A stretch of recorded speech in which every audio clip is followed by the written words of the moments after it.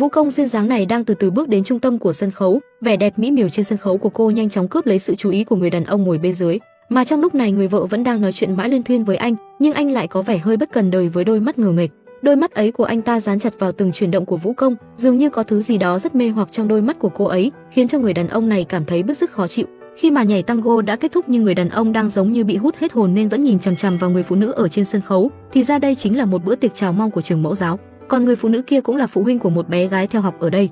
Người đàn ông này tên là Kang Yoon, phu nhân của anh ta là Han Sora, cô là con gái duy nhất của tập đoàn lớn nhất Hàn Quốc. Trong lúc hiệu trưởng đang cảm ơn sự đóng góp của hai vợ chồng Sora thì lại có một chàng vỗ tay khiến cho cuộc trò chuyện của họ bị cắt đứt. Lúc này Ryan Lomzom bước cùng con gái bước đi trước sự hò reo của đám đông, còn không quên chào cảm ơn mọi người rất nhiệt tình. Kang Yoon còn đang thất thần nhìn Ryan, như thể mỗi nụ cười của cô đều chạm đến từng dây thần kinh trong anh. Yêu em từ cái nhìn đầu tiên nhưng có lẽ anh còn phải thêm hỏi ý kiến từ vợ anh. Điều này lại khiến Sora cảm thấy khó chịu trước sự da rẻ của người phụ nữ này. Ryan ngồi xuống thì cô chủ động đến chào hỏi hai vị phụ huynh khác trên bàn. Hai người phụ nữ liền cao may cho rằng trường học này vừa đắt đỏ, chỉ có những gia đình quyền thế mới có thể cho con đến học. Ryan xinh đẹp thế này lại là một vũ công giỏi cũng cho con học ở đây sao? Ryan khiêm tốn nói nếu tôi không ăn diện thì sẽ chẳng có ai để ý đâu. Còn hai cô quá chi là slay nên chẳng cần ăn mặc đẹp thì vẫn tỏa sáng dưới ánh hào quang rực rỡ. Hai người phụ nữ được nịnh nọt nghe mờ ê mơ đến mức cười thành tiếng. Lúc này thì cô con gái bước đến hỏi mẹ rằng mình có thể đến nhà búp bê chơi được không. Ryan chỉ vào con gái của Sora và nói, bạn gái đó cũng có vẻ rất muốn học mua ballet nên cô muốn con gái mình kết bạn với cô bé đó. Sau đó thì hai người phụ nữ hỏi cô ấy có biết Sora không. Rồi Ryan lại hỏi liệu có phải Sora không thích hòa đồng với người khác hay không. Hai người phụ nữ bắt đầu hào hứng nói xấu người khác. Họ nói rằng người phụ nữ đó dựa vào việc cha mình là cựu thủ tướng mà còn là gia đình tài thiệt, vì thế cô ta không coi ai ra gì, trong mắt cô ta chỉ có mình mới là phu nhân thực sự. Ngay sau đó Ryan nhận được một cuộc gọi đến nói có người mang hoa đến cho cô. Nhìn Ryan đi đến thì ánh mắt của Kang Eun ngay lập tức né tránh. Mặc dù anh quay đầu sang một bên nhưng anh lại phát hiện vòng tay của Ryan đã bị rơi, mà lúc này người đem hoa đến tặng cho Ryan chính là chồng cô, hết hồn con trồn chưa sao mà đỡ được. Hai người vừa đi vừa cười rồi quay lại bữa tiệc, Jin Guk vô cùng ngạc nhiên khi nhìn thấy Kang Eun. Hóa ra anh ấy từng là nhân viên của Kang Eun. Xin Úc nhanh chóng đi đến để giới thiệu vợ và con gái của mình với vợ chồng Kang Eun. Người phụ nữ này đang cố tình tiếp cận Kang Iun, cô cố tình chạm vào vai anh khi đi ngang qua, khiến cho trái tim của Kang Iun trở xung động ngay từ giây phút ấy. Ryan còn chú ý đánh rơi vòng tay của mình rồi đưa chồng đến phòng chờ riêng. Sau đó cô nóng lòng muốn cởi toàn bộ quần áo của anh ra, bởi vì điệu nhảy tango làm em hưng phấn quá, em không đợi được nữa rồi. Anh biết là chúng ta đã lâu không gặp, mà anh cũng rất là muốn có em, nhưng chúng ta không thể để về nhà hay sao? Ryan không nói lời nào mà chỉ đánh mắt về phía cửa phòng. Lúc này người chồng hiểu ra nên cũng không kiên dè gì nữa, chứ vậy mà không hiểu thì để cho tôi anh ơi. Kang Iun cầm theo chiếc vòng bước đến nhưng Ryan cứ như kịch bản này đã được biên hết rồi. Mặc dù Kang Iun rất sốc nhưng anh không nỡ rời đi ngay mà đứng lại chứng kiến toàn bộ quá trình này ở bên ngoài cửa. Theo tính toán của Ryan thì kế hoạch của cô coi như đã thành công một nửa. 30 năm trước Ryan đã chứng kiến cha ruột của mình bị người ta đánh chết. Sau khi sự việc này xảy ra thì mẹ cô cũng phải vào bệnh viện, mà người đàn ông đứng đằng sau tất cả những chuyện này chính là bố vợ của Kang Iun. Ông ta luôn muốn thôn tính tập đoàn Lee của cha cô để lấy cắp con dấu, nhưng không may sự việc lại bị Ryan phát hiện, nhìn thấy Ryan đang nằm trên vũng máu nên họ cũng bỏ qua cho cô. May mắn thay cô đã gặp được một luật sư tốt bụng, anh ta đã gửi cô đến nước Mỹ để làm tị nạn. Trước khi Ryan nói với luật sư rằng lòng tốt của anh sau này có cơ hội thì cô sẽ đền đáp gấp 10 lần, và nợ tình nợ nghĩa thì hên xui trả còn đã nợ máu thì phải trả bằng máu. Sau bữa tiệc chào mong thì Ryan đưa con đến trường, nhưng tất cả các xe đều bị chặn lại ngoài cổng. Ryan xuống xe, cô muốn xem chuyện gì đang xảy ra thì từ xa Ryan đã nhìn thấy kẻ thù đã giết cha mình đang ở ngay trước mặt. Nụ cười vô tri ánh mắt ngờ nghịch của ông ta khiến tôi cười còn đối với Ryan thì như ngàn lưỡi dao khứa vào con tim nhỏ bé. Quả khứ ám ảnh của cô ập đến như ngày chiều thu Hà Nội mà lại đi lượn hồ Tây một mình. Ngay cả bàn tay mình đang nắm chặt vào lan can đến mức chảy máu cô cũng không biết. Sau khi bình tĩnh lại thì cô đi đến nhà vệ sinh để rửa vết máu. Ryan cố gắng hết sức để trở lại bình thường, nhưng khi cô vừa quay đầu thì lại tình cờ chạm mặt Kang Eun. Hai người chỉ cúi đầu chào nhau, Ryan còn cố nở một nụ cười run rẩy. Vậy là kế hoạch của cô đã thành công bước quan trọng nhất, bởi vì trong bữa tiệc tối qua, khi Ryan gặp lại Kang Eun thì ánh mắt cô đã nhìn trầm trầm vào anh. Thấy vậy anh ta liền né tránh một cách ngại ngùng. Kang Eun muốn nâng ly rượu nồng lên để bớt căng thẳng nhưng lại vô tình chạm vào tay Ryan. Cảnh tượng lúc này cũng bình thường, hai người đàn ông này đang bị đổ đầy máu lợn lên người. Sau đó xuất hiện hai con chó đói đang ầm ầm chạy đến. Đối sự thúc giục của chủ nhân thì lúc này hai chú chóng ấu nhiến không dứt. Đây chính là thú vui giải trí của các tài phiệt xứ Kim Chi, mà vị này là người giàu và quyền lực nhất trong giới đó. Ông ta chính là tổng thống Hàn Quốc, thậm chí trên mọi lĩnh vực thì ông ta cũng luôn là người đứng đầu. Dù vậy sự giáo dục con cháu của ông ta lại cũng vô cùng bệnh hoạn tào lao bát xế. Ông ta thường đưa cháu gái mình đến trường đua để huấn luyện cưỡi ngựa. Ông ta nói với cháu gái rằng chỉ cần tìm ra cách để chế ngự con thú trong người thì cô bé sẽ chế ngự được nó. Đứa trẻ tốt bụng ấy lại nghĩ rằng con ngựa sẽ đau nếu như cô đánh nó. Vì thế cô bé chỉ đánh một cách yếu ớt, ông ngoại thấy thế liền trách mắng khiến cô bé òa khóc. Thời gian quay lại 30 năm trước, vì muốn có được tập đoàn Ly và công nghệ bán dẫn hàng đầu thế giới, mà ông ta đã gửi người đi bắt chủ tịch tập đoàn đó và đánh chết trước mặt Ryan. Nhưng điều mà hắn không biết là cổ phiếu tập đoàn sớm đã được chủ tịch bí mật chuyển sang tên con gái ông. Khi biết chuyện này, ông ta đã sai thuộc hạ cũ đến nhà Efren phải truyền nhượng lại toàn bộ cổ phần. Từ đó tới nay thì Ryan đã mang theo mũi tên uất hận này để quay về báo thù. Hôm nay lúc trường mẫu giáo tổ chức họp phụ huynh và bầu ra trưởng đại diện hội phụ huynh thì cô giáo đã trực tiếp giới thiệu Sora cho mọi người. Nhưng Ryan sao có thể để yên như vậy được? Nếu cô muốn chiến thì tôi sẽ chiến cho gia hình ra hài thích thì cùng nhau pick for Gentino xanh chính. Khi bọn trẻ quay lại ăn vật thì một phụ huynh đã lấy cặp sách lên nhưng lại vô tình lấy ra một cái tá. Khi nhìn lại là tên con gái của Sora, vậy là cả phòng họp đều biết con gái Sora là đứa chưa biết tự đi vệ sinh. Những đứa bé khác thấy vậy đã vây xung quanh con gái Sora chê cười. Con gái của Sora không chịu được nữa thì nắm lấy cái tã rồi còn cào sức mặt cậu bé khác. Lúc này Ryan chỉ đứng thở ơ quan sát sự việc. Đây chính là những gì cô ấy muốn đạt được. Cô muốn xung đột giữa các nhà tài phiệt ngày càng tăng thêm. Các vệ sĩ của Sora chạy đến sau khi nghe thấy điều gì đó không ổn. Họ yêu cầu người phụ huynh kia xin lỗi Sora và tiểu thư, mà cô ấy cũng là tài phiệt nên không thể chịu đựng sự sỉ nhục này. Rõ ràng là con của cô bị thương nên không có lý do gì bắt cô xin lỗi trước. Lúc này thì Sora đứng dậy nói rằng mình còn lịch trình khác nên hẹn phụ huynh kia lúc khác bàn tiếp. Ryan chứng kiến thành quả của mình khiến cô rất hài lòng, không gì sung sướng bằng ngư ông đắc địa. Người phụ nữ có vị trí cao nhất, người phụ nữ muốn mình là đỉnh nhất. Dục vọng không đáy đó của cô sẽ đưa cô đến địa ngục thôi. Chàng trai này tặng cho cô gái chiếc dây chuyền kim cương có giá trên trời. Không cô gái nào có thể từ chối chiếc vòng này. Đây chính là cách Kang Eun Boy đẹp trai mà còn có tiền bày tỏ tình yêu của mình. Nhận cái món quá quý đến từ anh Cua Quy, Ryan cảm thấy rất hạnh phúc. Ryan rang cơm cho Kang Eun để bày tỏ tấm lòng. Hương vị gia đình khiến anh vô cùng hạnh phúc. Ngon lắm, em khiến anh cảm nhận được sự giản dị ấm áp nhất trên thế giới này. Nhà thì bao việc nhưng hai anh chị người đàn, kẻ múa nhìn cũng rất là gia hình gia hài. Cảm giác như mùa xuân đang đến sớm vậy, điệu múa này khiến tôi không dám nhìn thẳng, sắc đẹp của cô khiến điệu múa càng thêm quyến rũ, lại đến một cảnh quen thuộc cấm trẻ em dưới 18 tuổi. Biên kịch thật biết cách chiều lòng con dân mà, nhưng anh không biết được rằng Ryan tiếp cận anh là vì mục đích khác. 13 năm trước công ty của bố cô bị họ cưỡng ép lấy mất. Cô đã nhận nhịn suốt 13 năm, hiện tại thời cơ báo thù đang dần chín mùi. Ngoài kẻ chủ mưu năm ấy, tất cả những kẻ có liên quan đều phải chịu trừng phạt của mũi tên uất hận trong Ryan, bao gồm cả những kẻ bán đứng bố mình và công ty. Nhìn chứng cứ rành rành trước mắt, Giang Jin Guk vẫn kiên quyết không nhận tội, thế nhưng lựa chọn của họ cũng không có tác dụng gì. Ryan sẽ cho họ sống một đời an nhàn không cần làm gì mà vẫn có cơm bưng nước rót cụ thể là cơm trong ngục tù. Thông qua máy nghe lén, Ryan nghe được kẻ thù đang bàn bạc về kế hoạch cô gửi cho Sora. Thật ra hạng mục này là một con mồi lớn chỉ đợi chúng cắn câu, nhưng Ryan không biết rằng Eun Pyung cũng bắt đầu hành động. Eun Pyung là một đại biểu quốc hội trẻ nhất, anh là người chính trực không chia bè phái công tư phân minh, nhưng điều đó không có nghĩa là anh kém cỏi. Iesơ chắc chắn là như vậy rồi. Từ sau khi nhận ra Ryan, anh cũng bắt đầu âm thầm giúp đỡ cô. Mỗi khi có được tài liệu hay ho, anh lập tức gửi cho Ryan. Bởi vì người mẹ ở viện dưỡng lão của cô đột nhiên mất tích, anh khuyên cô cố nén bi thương. Cuối cùng cô hỏi anh đã có chuyện gì xảy ra. Eun Pyung bèn nói chuyện năm ấy cho Ryan nghe. Từ sau khi Ryan đi Mỹ, Eun Pyung thường xuyên đến viện dưỡng lão thăm mẹ cô nhưng không hiểu sao bà ấy lại có thể mất tích vô cớ. Lúc này cô rất hối hận vì năm đó không đủ năng lực để đưa cả mẹ đi. Bây giờ cô chỉ hy vọng mẹ vẫn còn sống. Thấy Ryan đau khổ như vậy, Eun Pyung cũng đau đớn không kém. Anh chỉ muốn bảo vệ người con gái này thôi, tại sao lại khó khăn tới vậy? Nếu yêu mà dễ quá thì giờ có khi tôi đã có chục người vợ chứ không ế quanh năm suốt tháng giữa mùa thu này. Mẹ ơi, nghe hai từ đó mà Eun Pyong ngẩn ngơ, mắt cũng rưng rưng, một người cứng rắn như Eun Pyong cũng biết rung động với cô gái khác. Ai mà kiềm lòng được khi nhìn người con gái xinh đẹp kia khóc cơ chứ? Nhìn cô gái ngây thơ năm nào nay đã trở thành một người khác, bởi vì mối thù giết cha nên cô đã thay đổi bản thân mình trở thành mũi tên uất hận sống một đời hơn thua. Dù thế nhưng cô vẫn mãi là người Eun Pyong nguyện ý từ bỏ tất cả để bảo vệ cô. Ryan, tại sao anh lại đối xử tốt với tôi như vậy? Từ khi gặp em, tôi đã thấy em là cô gái ngây thơ nhất trên đời. Dù giờ em đã đổi thay, nhưng tôi vẫn muốn bảo vệ em, vì cô Eun Pyung có thể phá bỏ quy tắc và giới hạn của bản thân. Điều này khiến cho Han Pan do rất vui mong, ông ta quyết định đưa một cành ô liu mời anh nhập bọn, còn khen ngợi Han Sora không hổ là con gái mình. Nhưng Eun Pyung không muốn bắt tay với ông ta, anh cũng đang âm thầm giúp Ryan thu thập chứng cứ. Bên cạnh đó, Ryan cũng chủ động xuất kích, Eun Đàm Ji vì không thể đến tham dự sinh nhật của Sora nên đã cầm bánh sinh nhật đến bù. Nhưng trong con mắt của Han Sora không chấp nhận được thứ gì thấp kém, lập tức búng cô ta rớt đài luôn. Sau đó cô liền nghĩ ra một kế hiểm, cô gọi hai anh đẹp trai đến. Khi họ nhìn thấy tấm chi phiếu ba lần nữa, chuyện rất đơn giản, chính là theo đuổi hai cô gái vừa rồi, ai thành công thì tiền của người đó. Ryan bên cạnh cũng ngỡ ngàng, Han Sora dặn xem cô ta là chị em, điều này khiến cho buổi biểu diễn tiếp theo thiếu chút nữa là không tiến hành được. Cô cố gắng nhẫn nhịn nỗi đau để thay quần áo bước lên sân khấu. Nhìn hàng người ngồi dưới khán đài, cộng thêm người đàn bà ác độc trước mắt, Ryan dùng ánh mắt sắc như dao nhìn chăm chăm vào họ. Sora còn tưởng cô chỉ đang diễn, nhưng hiện giờ Ryan rất muốn tiễn chúng về chầu Tây phương cực lạc. Cứ coi như không thấy đi, nếu mà ngoan em sẽ được thương còn nếu động tới sinh kế của tầng lớp 1% là sẽ bị thương đó. Gia tộc họ Kang cường thịnh suốt 4 người năm nhưng đến đời Kang Iun lại từ bỏ quyền thừa kế. Lúc này bố anh mới nói ra sự thật, hóa ra ông không nói ra sự thật là vì muốn anh ngoan ngoãn làm trợ thủ cho anh trai. Bây giờ Han Sora lại dám hớt tay trên của chị dâu khiến cho bố chồng thấy nguy hiểm.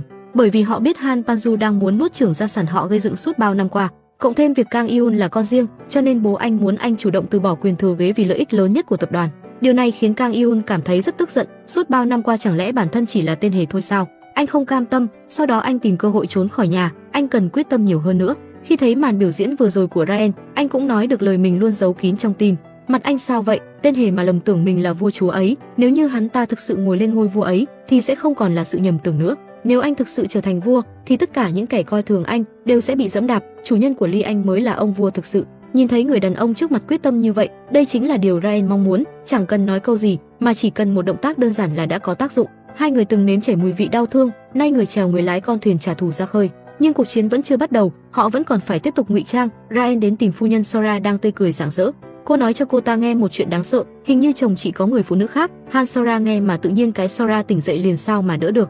Lúc này, Kang Iun cũng chú ý tới họ, cô con gái nhỏ của Thiên Kim tại phiệt hàng đầu Hàn Quốc, đã đi nhà trẻ nhưng vẫn không biết đi vệ sinh. Cô bé rất luôn lo lắng cho bản thân, làm thế nào để dùng bỉm mà không bị bạn bè phát hiện, nhưng thật không may. Kang Dabi, trời ơi, là của Dabi sao? Làm sao đây? Nếu mà biết trước thì tôi đã giữ bí mật rồi. Cô giáo để học sinh và phụ huynh ngồi cùng nhau để có thể chọn ra một người làm hội trưởng hội phụ huynh. Một phụ huynh mở một chiếc cặp sách ra, không ngờ bên trong đều là bỉm, con gái của một phụ nhân giàu có lớn rồi vẫn còn dùng tạ sao. Trên chiếc cặp có tên, điều này làm Han Sora và con gái vô cùng lo lắng, chuyện lớn như vậy biết giấu mặt vào đâu. Dabi lập tức gào lên và khóc lớn, mà màn kịch này tất nhiên là do một tay Ryan kịch bản đã biên ra hết rồi. Cô đã đổi cặp sách của hai đứa bé, cho nên mọi chuyện mới có thể diễn ra đúng theo kế hoạch. Han Sora chỉ có thể ngậm ngùi nuốt cục tức này, không dám nói gì mặc dù con gái khóc lớn. Nhìn bạn bè đang gửi nhạo mình, Dabi tiến lên cào và mặt cậu bé đứng đầu. Mặt cậu bé bị cào rách máu chảy không ngừng, hai đứa trẻ thay nhau đi đường quyền. Những người có thể tiến vào ngôi trường quý tộc này đều không phải người thường. Mẹ thằng bé cũng không chịu để yên, lập tức thư ký và vệ sĩ của Han Sora lao vào, không cần biết lý do bắt mẹ cậu bé phải xin lỗi ngay lập tức, mà Han Sora lại nhặt xem hết quá trình, hẹn mẹ cậu nhóc lần sau tiếp tục nói chuyện. Hiệu trưởng thấy giáo viên bị đánh cũng chỉ có thể đứng yên, bất kể là vị phu nhân nào cũng không thể động vào. Nếu họ không muốn mất công việc này, trên đường về nhà, Dabi vẫn ngộn khóc lớn. Han Sora cảm thấy rất phiền phức nên liền tìm đến nơi giải tỏa tâm trạng. Những đứa trẻ trong trường bỗng nhiên đánh nhau, Ryan lúc này đứng ra nói bản thân cô muốn làm người hòa giải. Bước đầu làm sứ giả hòa bình đó là đến nhà họ Han. Đám trẻ có mâu thuẫn đương nhiên cần mời người nhà đến trao đổi. Đây là lý do để Ryan có thể liên hệ với Kang Iun. Nhìn người con gái xinh đẹp trước mặt, hắn ta đã không thể cứng lại được. Trong đầu hắn bây giờ chỉ toàn là hình ảnh Ryan đang thân mật với chồng của mình. Càng nghĩ càng say đắm, dục vọng là thế thất tình lục dục không kiếp vô thường không thể thoát ra thiện sai. Kang Iun đương nhiên muốn tiếp xúc thân thiết hơn với người phụ nữ này. Vừa nhìn đã không thể rời mắt. Con gái đánh nhau càng nhiều, cơ hội gặp mặt Ryan càng nhiều. Con có muốn bố đồng ý cho con đi học múa ballet với Bo Jam không? Thật sao ạ? Vâng, con thích lắm. Ryan đưa con gái của Kang Iun đến nhà của mình, hai đứa nhỏ cùng chơi với nhau. Kang Iun chưa bao giờ đi đón con tan học vậy mà lần này chủ động đến, không ngờ Ryan đã nói cả địa chỉ nhà cho hắn ta. Chiếc vòng tay mà cô đánh rơi tối hôm đó, được hắn ta luôn mang bên mình. Con tự tay giúp Ryan đeo chiếc vòng đó lên, lại một lần nữa để hắn ta say mê không rút ra được. Ngày hôm đó, Jabi lại đến nhà chơi với bò giam. Kang Iun lại chủ động đến đón cô con gái nhỏ của mình. Vì Jami muốn đi vệ sinh, cho nên phòng khách chỉ còn lại hai người họ. Đây chính là cơ hội tốt để có thể mê hoặc đàn ông hai người bắt đầu bàn luận về âm nhạc và nghệ thuật. Vợ hắn ta mặc dù là một khiên kim tiểu thư, nhưng lại là một người độc đoán và tiêu căng. Ryan ở trước mặt hắn ta xinh đẹp ấm áp, càng làm cho hắn không thể kìm lòng được. Trong đầu Kang yêu liên tục nhớ lại cảnh người con gái này, nóng bỏng, làm người khác muốn chiếm lấy. Ryan ngồi chơi nhạc cụ khiến hắn ta say đắm, tình cảm và không khí nóng bỏng. Hộ đề nghị hai người sẽ khiêu vũ một điệu. Người đẹp lên tiếng làm sao có thể từ chối. Kang Yoon rơi cánh tay lên từ từ đặt lên vòng eo nhỏ của Ryan, mà ngực của Ryan cũng từ từ tấn công, mong phòng thủ hai cơ thể dựa sát vào nhau, không khe hở. Điều này làm Kang Iun thần hiên bắt đảo, là đàn ông sao mà đỡ được. Một bản tango đầy quyến rũ và mê hoặc. Khi hai trái tim hòa cùng một nhịp, có thể nghe thấy giống trái tim của đối phương là quá trình hoàn hảo cho một điệu tango cháy bỏng. Hết lần này đến lần khác quyến rũ, trái tim và linh hồn của Kang Iun đã sớm bị lấy đi, vợ mấy ngày không có nhà. Kang Iun chỉ có thể uống rượu giải sầu, càng uống càng muốn chiếm lấy, trong đầu bây giờ toàn là hình ảnh của người con gái đó, y loạn tình mê.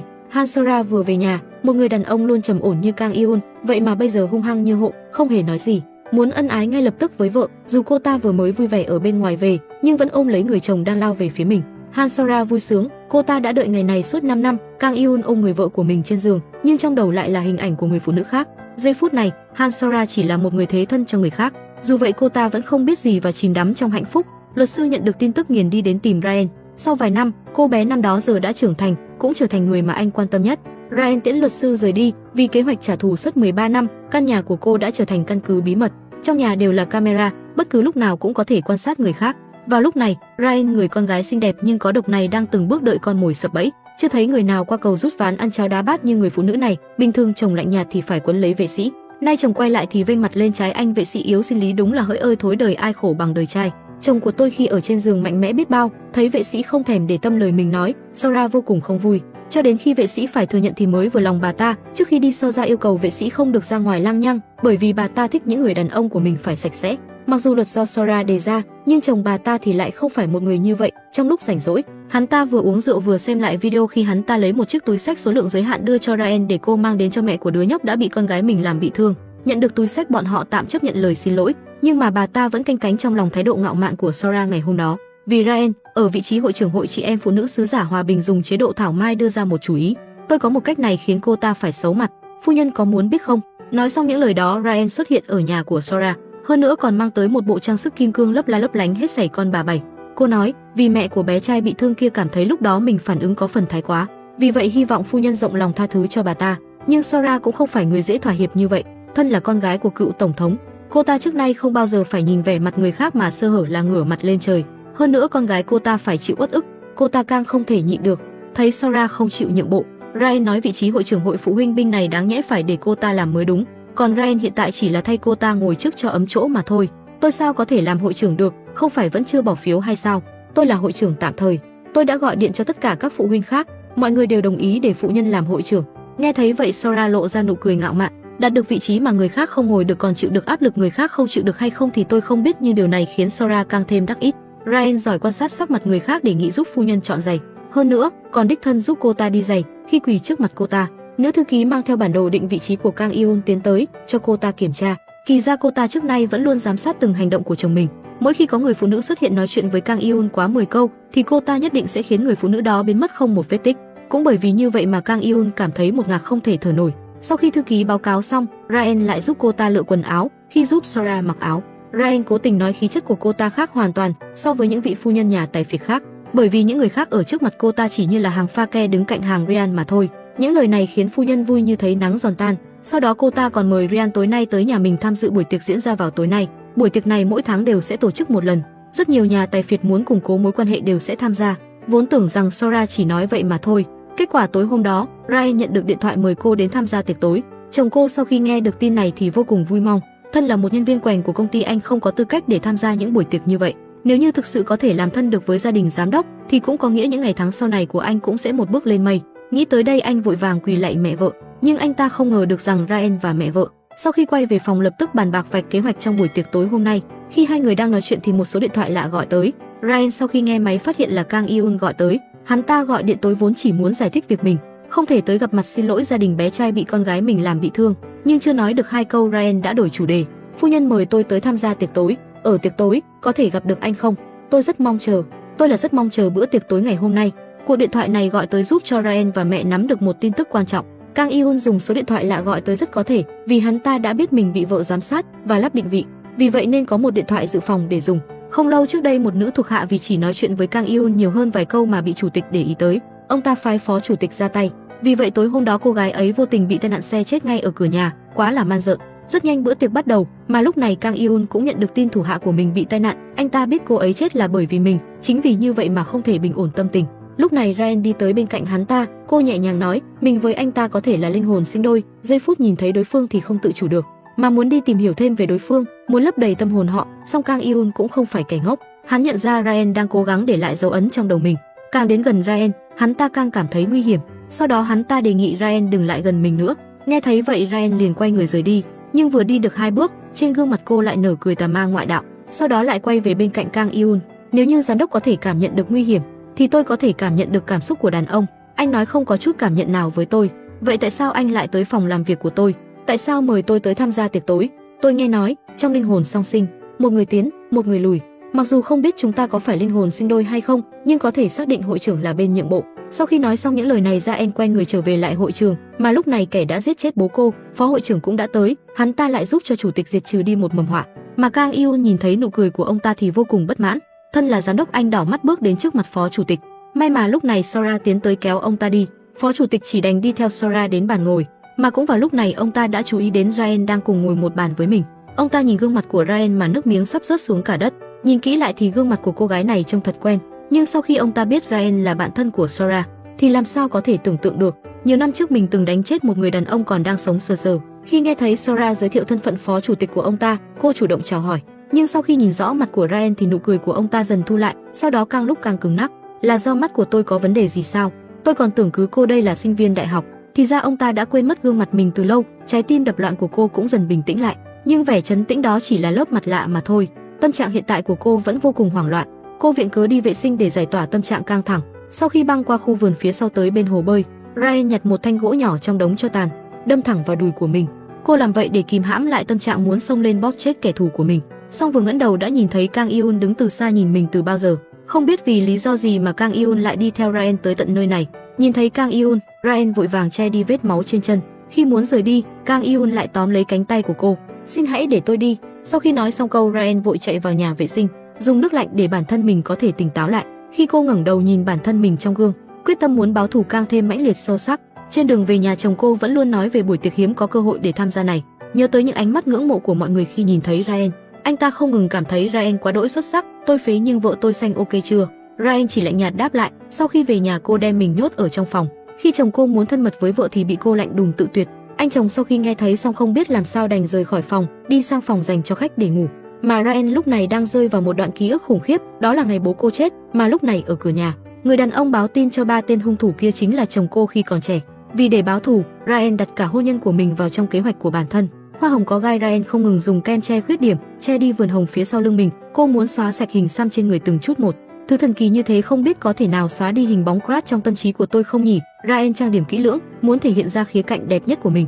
Mái tóc đen dài óng mượt được vén ra, Ryan rất chắc chắn rằng đêm nay Kang Iun sẽ đến. Lần này cô không chỉ muốn Kang Iun rơi xuống vực sâu, còn muốn để cho vợ anh ta là Sora đau khổ. Trước đó cô tặng cho Sora hai bộ lễ phục, một bộ màu xanh để mặc trong vũ hội Latin, một bộ màu đỏ là để cô mặc vào hôm sinh nhật cho Kang Iun xem. Sora rất thích vô cùng phấn khởi về nhà, nói với người làm, không cần báo với cô ta về các sắp xếp cho ngày sinh nhật, cô ta thích sự bất ngờ. Đi đến thư phòng tìm Kang Iun thấy anh ta đang trầm tư, còn cho rằng anh ta đang khổ não vì việc tổ chức sinh nhật cho mình, chỉ cần là địa điểm anh chọn thì em đều thích. Mẹ ơi, mình phải đi đâu vậy? Mẹ và bố muốn đi đến khách sạn vào ngày sinh nhật, mà ngày hôm sau tỉnh dậy nhìn căn nhà không có thay đổi gì, chỉ có bữa tối được người làm chuẩn bị theo thông lệ. Khi biết Kang Iun lại trong ngày sinh nhật của mình mà còn đi làm, dù có được ai chuẩn bị bất ngờ cho ngày sinh nhật, Sora đều cảm thấy dư thừa, ngược lại khi thấy bánh kem còn tức giận hơn, trực tiếp hất đổ nó, quá trời cái nết. Khi cô ta đi đến phòng làm việc của Ryan, muốn tìm một người để trò chuyện không ngờ Ryan cũng bận việc, nghị sĩ Seo hẹn tôi trùng hợp lại đúng vào ngày sinh nhật của chị. Sora phân biệt được nặng nhẹ, cô ta hiểu rõ nghị sĩ Seo quan trọng như thế nào, trước khi Ryan đi còn không quên chúc phúc phải quản lý tốt nghị sĩ Seo nhé. Cô ta ngồi trong phòng làm việc của Ryan, chờ đợi cuộc gọi của Kang Eun chờ từ trời sáng đến đêm tối, cho đến khi cô ta mất sạch sự kiên nhẫn. Rõ ràng hôm nay là sinh nhật mà mọi chuyện đều không thuận lợi, ngay cả cái ghế cũng bắt nạt khiến cô ta điên của hét lớn. Đến mức khăn tròn cũng bị rách, cô đi ra khỏi cửa mà không quan tâm có còn bất ngờ hay không nữa. Bảo thư ký sắp xếp cho cô đến khách sạn mà Kang Iun đã đặt trước, mà Kang Iun suy nghĩ cân nhắc cả ngày. Cuối cùng đã đưa ra quyết định đi cùng Ryan chọn lựa quần áo, để không bị người khác làm phiền và định vị trực tiếp tắt máy. Cuộc sống đôi khi thật phũ phàng mà bởi dị cứ như tôi nghèo cho sạch rách thì tôi đi mua xà bông về tắm vậy mà không có buồn. Sora sau khi đã ăn mặc xinh đẹp thì đi đến khách sạn, cho dù chỉ là cơ hội một phần mười nhìn cô ta vẫn rất mong chờ. Sau khi đi vào phòng cô ta liền tràn ngập trong thất phòng, trong phòng không hề trang trí chút nào, điện thoại của Kang Iun cũng không gọi được. Sora trở về nhà điên cuồng đập phá chút cơn máu điên đang ngự trị trong người. Tình yêu đối với Kang Eun sâu đậm bao nhiêu, thì lúc này cô ta khóc lóc đau khổ bấy nhiêu. Cô muốn gọi cho bố để tìm sự an ủi, nhưng ngược lại bố còn tàn nhẫn đâm thêm một nhát chí mạng từ vô cực kiếm. Trách cô ta trẻ con ngay cả một cái sinh nhật cũng làm không xong. Đồ vô dụng tắt đây. Cô ta chỉ còn có thể gọi điện thoại cho Ryan. Ryan hiểu rất rõ vì sao Sora khóc lóc còn giả vờ mình không biết gì. Chị yêu anh ta yêu đến chết đi sống lại, nhưng có thể là cách mà chị yêu sai rồi, không thể bởi vì yêu mà cho anh ta sự tự do. Sora cũng là một người phụ nữ bi thảm, sinh ra trong một gia đình tài phiệt vốn đã cao quý, lại không có được tình yêu của người mà cô ta hết lòng yêu thương, ngay cả bố cũng không tin tưởng. Ryan giả nai nói, bây giờ em đến chỗ chị, cô biết Sora chính là người ngay cả chết cũng cần có sĩ diện, sẽ không để cho cô thấy dáng vẻ đáng xấu hổ của mình hiện tại. Và dĩ nhiên phụ nữ ghét nhất là người khác thấy hình ảnh xấu nhất của mình khi khóc nên liền hẹn ngày sau. Mà Ryan sau khi cúp điện thoại mặc một bộ đồ ngủ màu trắng, lặng lẽ chờ đợi sự xuất hiện của Kang Eun như một nữ hoàng. Còn ai có thể từ chối khi phối đồ ngủ với giày cao gót chứ? Không thể từ chối nếu bạn đẹp còn nếu bạn mà như tôi thì thôi ma còn chê quỷ còn hơn nói chi là ai xa lạ còn mà với Ryan thì phải gọi là cưng mà nói. Hôm nay cô muốn mở cửa địa ngục sâu thẳm, kéo tất cả những kẻ cưng mà nói đi vào thất tình lục dục, kiếp dục vọng khó luân hồi. Người phụ nữ tàn nhẫn đi đường quyền lên mặt người đàn ông đi một bên chưa đủ cô tiếp tục đi đường quyền thêm một bên nữa cho nó cân đo đong đếm. Kang Iun về đến, nhìn hiện trường bị đập phá hỗn loạn như gặp trộm, không cần hỏi cũng biết đó là chuyện tốt do Sora làm, khi đêm qua mình không về. Anh đã quá mệt mỏi với em rồi, anh điên rồi sao? Anh thấy anh có thể nhẫn nhịp em đến cận giờ đúng thật là kỳ tích. Sora run rẩy, không dám tin lời người đàn ông trước mắt nói ra, trước đây dù là đối phó cho qua thì anh ta cũng sẽ đưa ra lời giải thích, giờ ngay cả việc đối phó cho qua cũng không muốn làm nữa. Cô ta cho rằng Kang Yun muốn trốn tránh trách nhiệm, không ngờ Kang Yun nghiêm túc. Thư ký Kim tôi đã thấy xe của cậu rồi, đi ra đây. Anh ta đã phát hiện thư ký của mình phản bội mình từ lâu rồi. Sora muốn ngụy biện, nhưng chuyện gắn thiết bị định vị lên xe của Kang Yun cũng chỉ đơn giản là lo lắng thôi. Sora cảm thấy những chuyện này không quan trọng. Kang Yun đang muốn đổi chủ đề. Em yêu anh, những chuyện này đều có thể nghĩ giải được mà. Vậy chuyện gì là quan trọng? Sinh nhật của em sao? Lẽ nào không quan trọng sao? Người luôn xem mình là trung tâm như cô ta nghĩ. Trong ngày sinh nhật của mình thì cô ta nên được quan tâm và được đặt ở vị trí đầu tiên. Kang Iun cảm thấy cô ta không còn thuốc chữa nữa rồi, xoay người rời đi hải quay xe đến phòng khách, nói từ hôm nay trở đi anh ta sẽ chia phòng ngủ với Sora. Sora bảo Ren đón con gái về nhà, còn mình thì mang kính bảo hộ và cầm rìu, hóa thân thành chàng tiều phu đi đốn củi cứu khổ cứu nạn. Trạng thái của Sora bây giờ chính là bất chấp lý lẽ, Ryan cảm thấy cần phải gọi Kang Eun về nhà một chuyến. Cô đang làm gì vậy hả? Anh đang quát em sao? Thậm chí là ngay trước mặt người ngoài. Ryan bước tới trấn an đưa Sora vào phòng, em có thấy dáng vẻ anh ta gào thế chứ không? Ryan lén lút cho cô ta uống thuốc, Sora vừa kể khổ vừa tức giận mắng chửi. Trước giờ cô chưa từng nghĩ sẽ tìm vấn đề từ phía mình, cuộc sống là vậy nếu lúc nào cũng đúng thì ai sẽ là người sai chắc mình tôi sai quá. Cô ta muốn báo thù tất cả những kẻ phá hoại sinh nhật của cô ta, chị sẽ không bao giờ bỏ qua cho bọn họ, hãy chờ mà xem.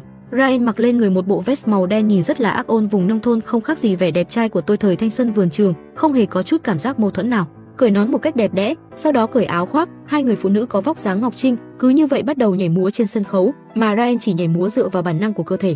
Trong đầu cô hiện lên toàn hình ảnh của kẻ thù, hiện tại họ trèo cao bao nhiêu cô muốn bọn họ ngã đau bấy nhiêu.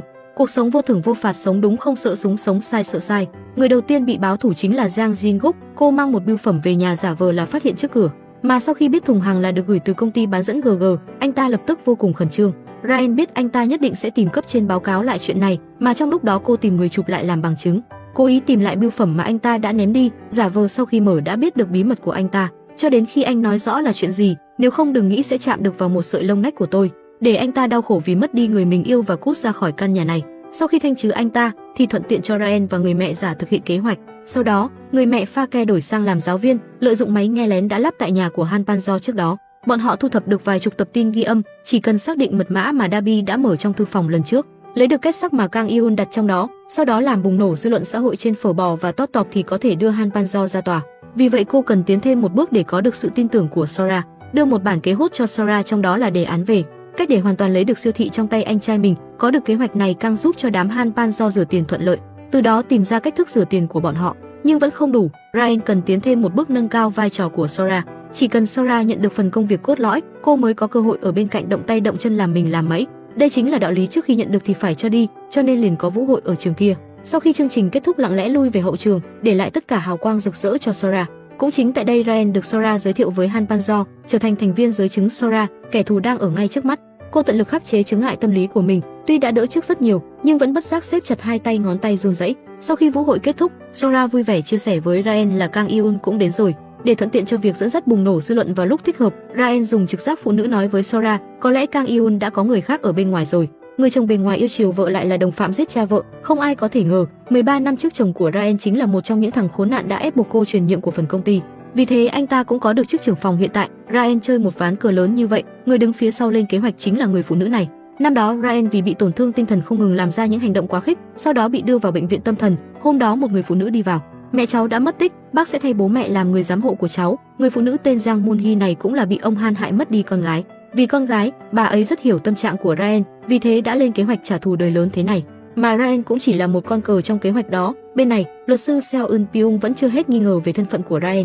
Người mà anh ta nhờ cậy cũng điều tra được chồng Ryan từng là nhân viên thực tập của công ty bố cô, nhưng sau khi bố cô bị hại, anh ta lại bỗng nhiên đến công ty hiện tại làm việc ở chức trưởng phòng. Luật sư Seo đoán Ryan đang muốn đặt cược cả cuộc đời mình để trả thù. Vợ chồng Ryan tham gia tiệc xong trở về nhà Ryan vì sự xuất hiện của ông Kim khiến tinh thần bị đả kích mạnh, đừng đụng vào em quy tắc vợ chồng số 1. Lúc em không muốn anh đụng vào thì đừng đụng vào, ra ngoài. Bà Giang rất nhanh đã biết chuyện Ryan tự hành hạ mình, trách cô nếu để bị lộ ra sơ hở thì kế hoạch sẽ thất bại mẹ nhất định sẽ phá tan nhà đó, nếu làm hỏng, dù có là con, mẹ cũng sẽ không dễ dàng bỏ qua đâu. Ngày hôm sau Ryan đến cửa hàng dụng cụ âm nhạc mà mình thường đến, hỏi ông chủ đàn Bandonian mới đã có hàng về chưa.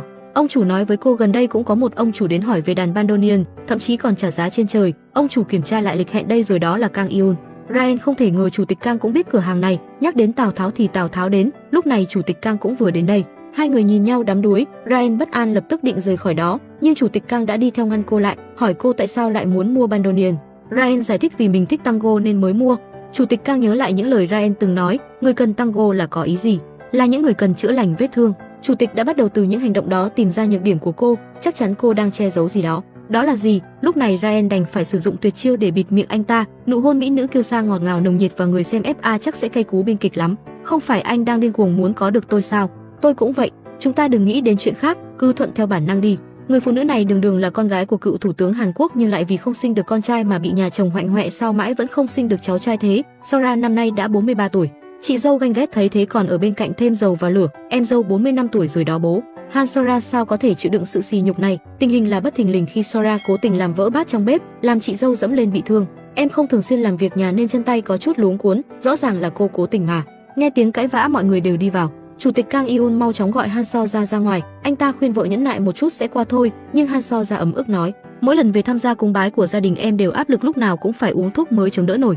Người cần con trai là anh, tại sao em lại phải chịu áp lực trong nhà chủ tịch Kang xếp hàng thứ hai, dù năng lực làm việc xuất sắc, nhưng vì không có con trai, bố vẫn chưa giao công ty cho anh ta. Han Sora mắng trách đó là vì chồng không đụng vào mình.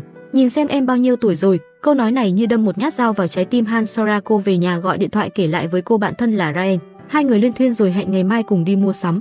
Ngày hôm sau, trong cuộc họp phụ huynh ở trường mầm non, Ryan đã lên kế hoạch cẩn thận cho sự kiện kỷ niệm của trường, mời những người nổi tiếng trong các lĩnh vực đến diễn thuyết. Việc này nhận được rất nhiều sự hưởng ứng của phụ huynh, mà toàn bộ công lao cô đều dành cho Han Sosa. Sau cuộc họp, Ryan hỏi Han Sosa nên mời những người nào. Han Sosa nói muốn mời ứng cử viên tổng thống luật sư Seo Eun Pyung.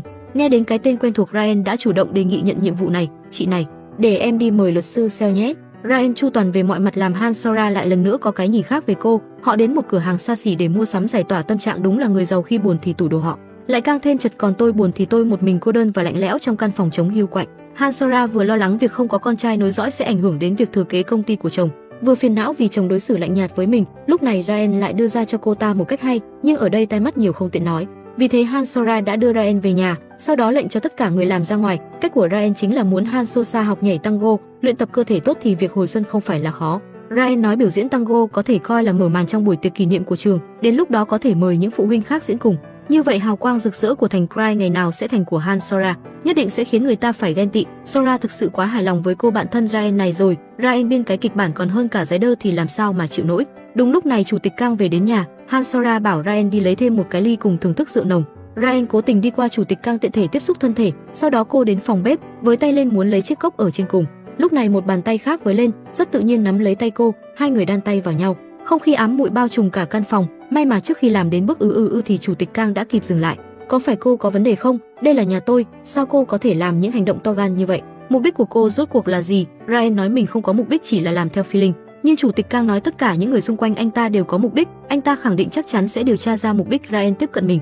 Quay lại phòng khách, hai đôi vợ chồng cùng nhau uống rượu, chồng Ryan không ngừng định bợ vợ chồng chủ tịch Kang. Chủ tịch Kang nhân cơ hội hỏi anh ta và Ryan quen nhau thế nào, sao còn trẻ như vậy mà con đã học mầm non, họ không hề biết Ryan và chồng đã có hợp đồng từ trước. Trả lời không chút sơ hở, chủ tịch Kang không hề phát hiện điều gì đáng ngờ.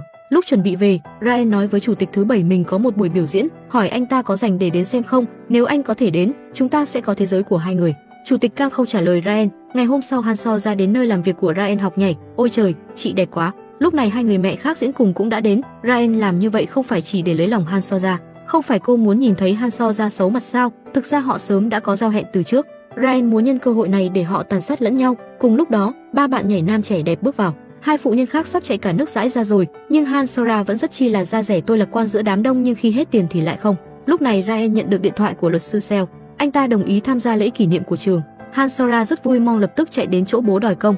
Đây chính là cơ hội để mở rộng mạng lưới, có thể củng cố địa vị chính trị của ông Han thêm một bước nữa. Ngày hôm sau luật sư Seo đến trường mầm non, anh ta không muốn trực tiếp vạch trần thân phận của Ryan, mà nói với cô về thân thế của mình. Đúng rồi, tôi là một cô nhi.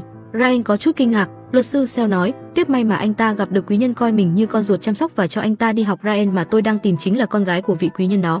Anh ta nói bất luận thế nào mình cũng muốn báo ơn, sau đó lấy ra một phần tài liệu về chủ tịch Kang đưa cho cô. Lúc này ông Kim nhìn thấy luật sư Seo đi đến chào hỏi, Ryan mau chóng mang tài liệu rời đi về nhà. Cô và bà Giang cùng nhau kiểm tra tài liệu phát hiện thì ra chủ tịch Kang là con riêng.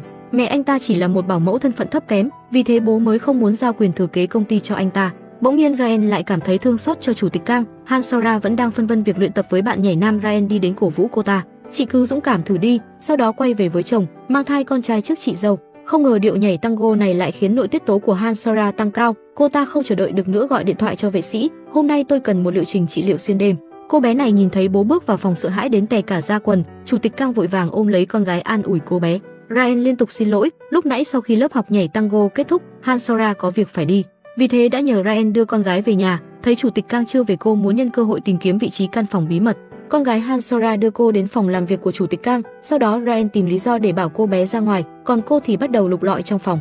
Trên giá sách toàn là sách kinh doanh bỗng nhiên có một cuốn sách liên quan đến tango thu hút sự chú ý của Ryan, mở ra xem trong đó còn kẹp một tờ báo cũ. Lúc này Dabi chạy vào làm cô giật nảy người, sau đó cô bé nói muốn đưa cô vào căn phòng bí mật xem một chút, cô bé nhanh nhẹn lấy một cuốn sách ra, bấm vào nút mở được cánh cửa bí ẩn ở phía sau, phía sau bức tường quả nhiên có một căn mật thất, Dabi nói với cô mình từng nhìn lén bố nhập mật mã vì thế mới biết được bí mật này.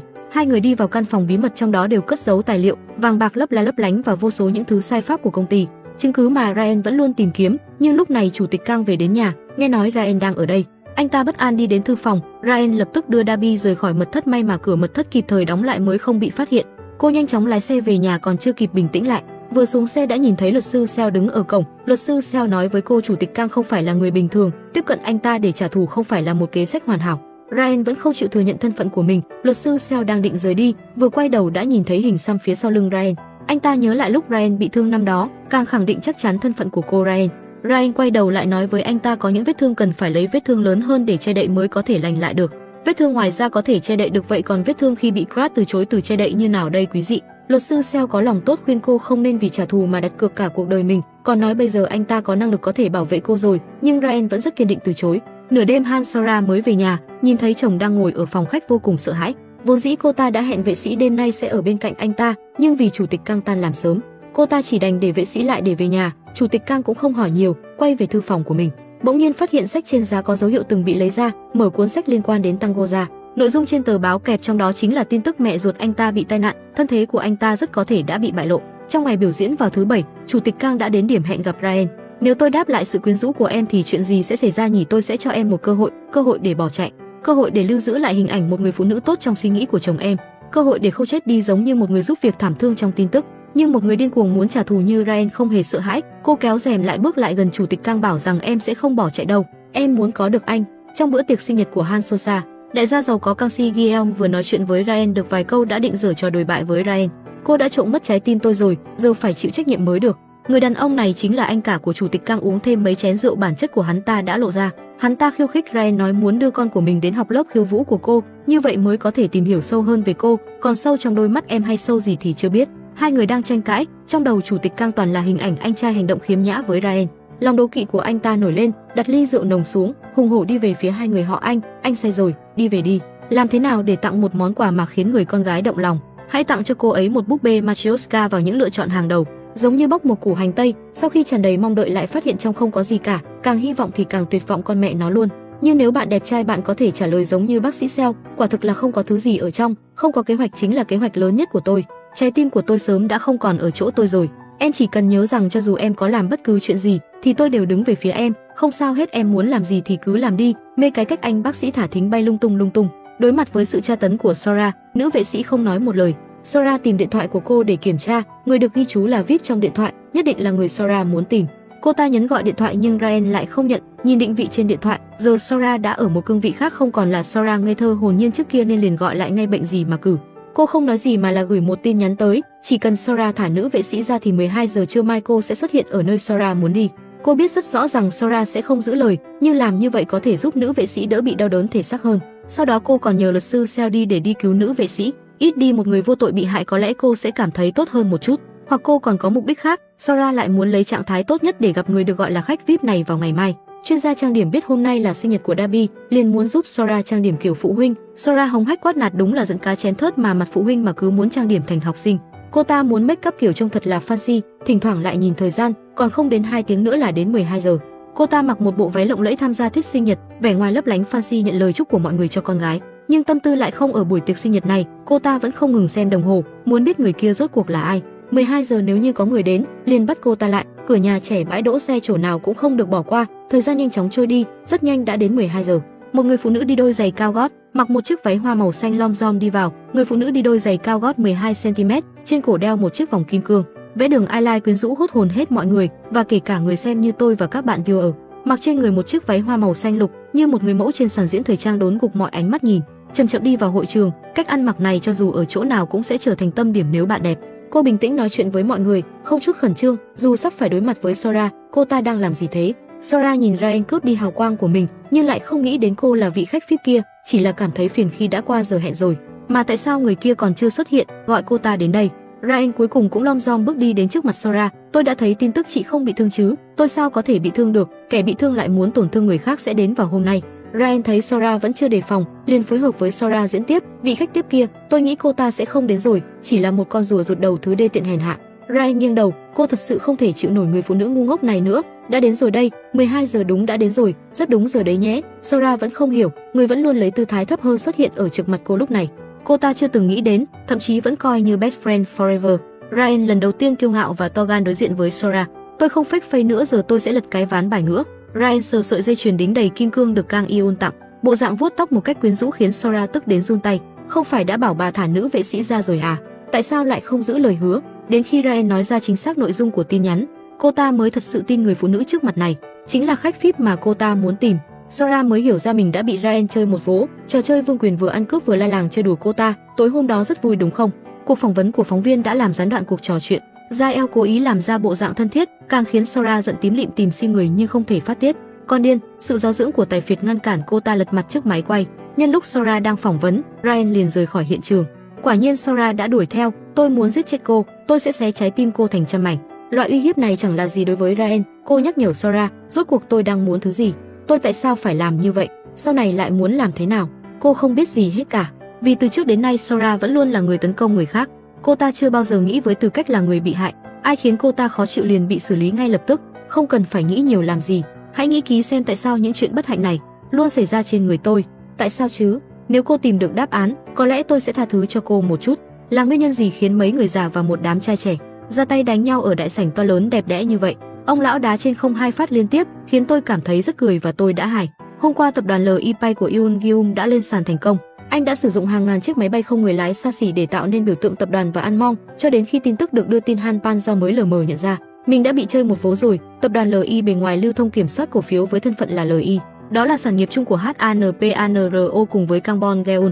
Nhưng Yoon Gyum lại âm thầm xây dựng LIPAI, chỉ cần nó lên sàn thành công là có thể lợi dụng nguồn tiền khổng lồ để thu mua cổ phần đang lưu thông của LI. Họ không hẹn mà gặp cùng tới tập đoàn tìm anh ta nói chuyện nhưng lại bị vệ sĩ mà Jun Gium sắp xếp từ trước cả lại. Hai ông thông gia vốn dĩ đã bất hòa, hiện giờ lại còn trách mắng đối phương càng mắng càng thuận mồm.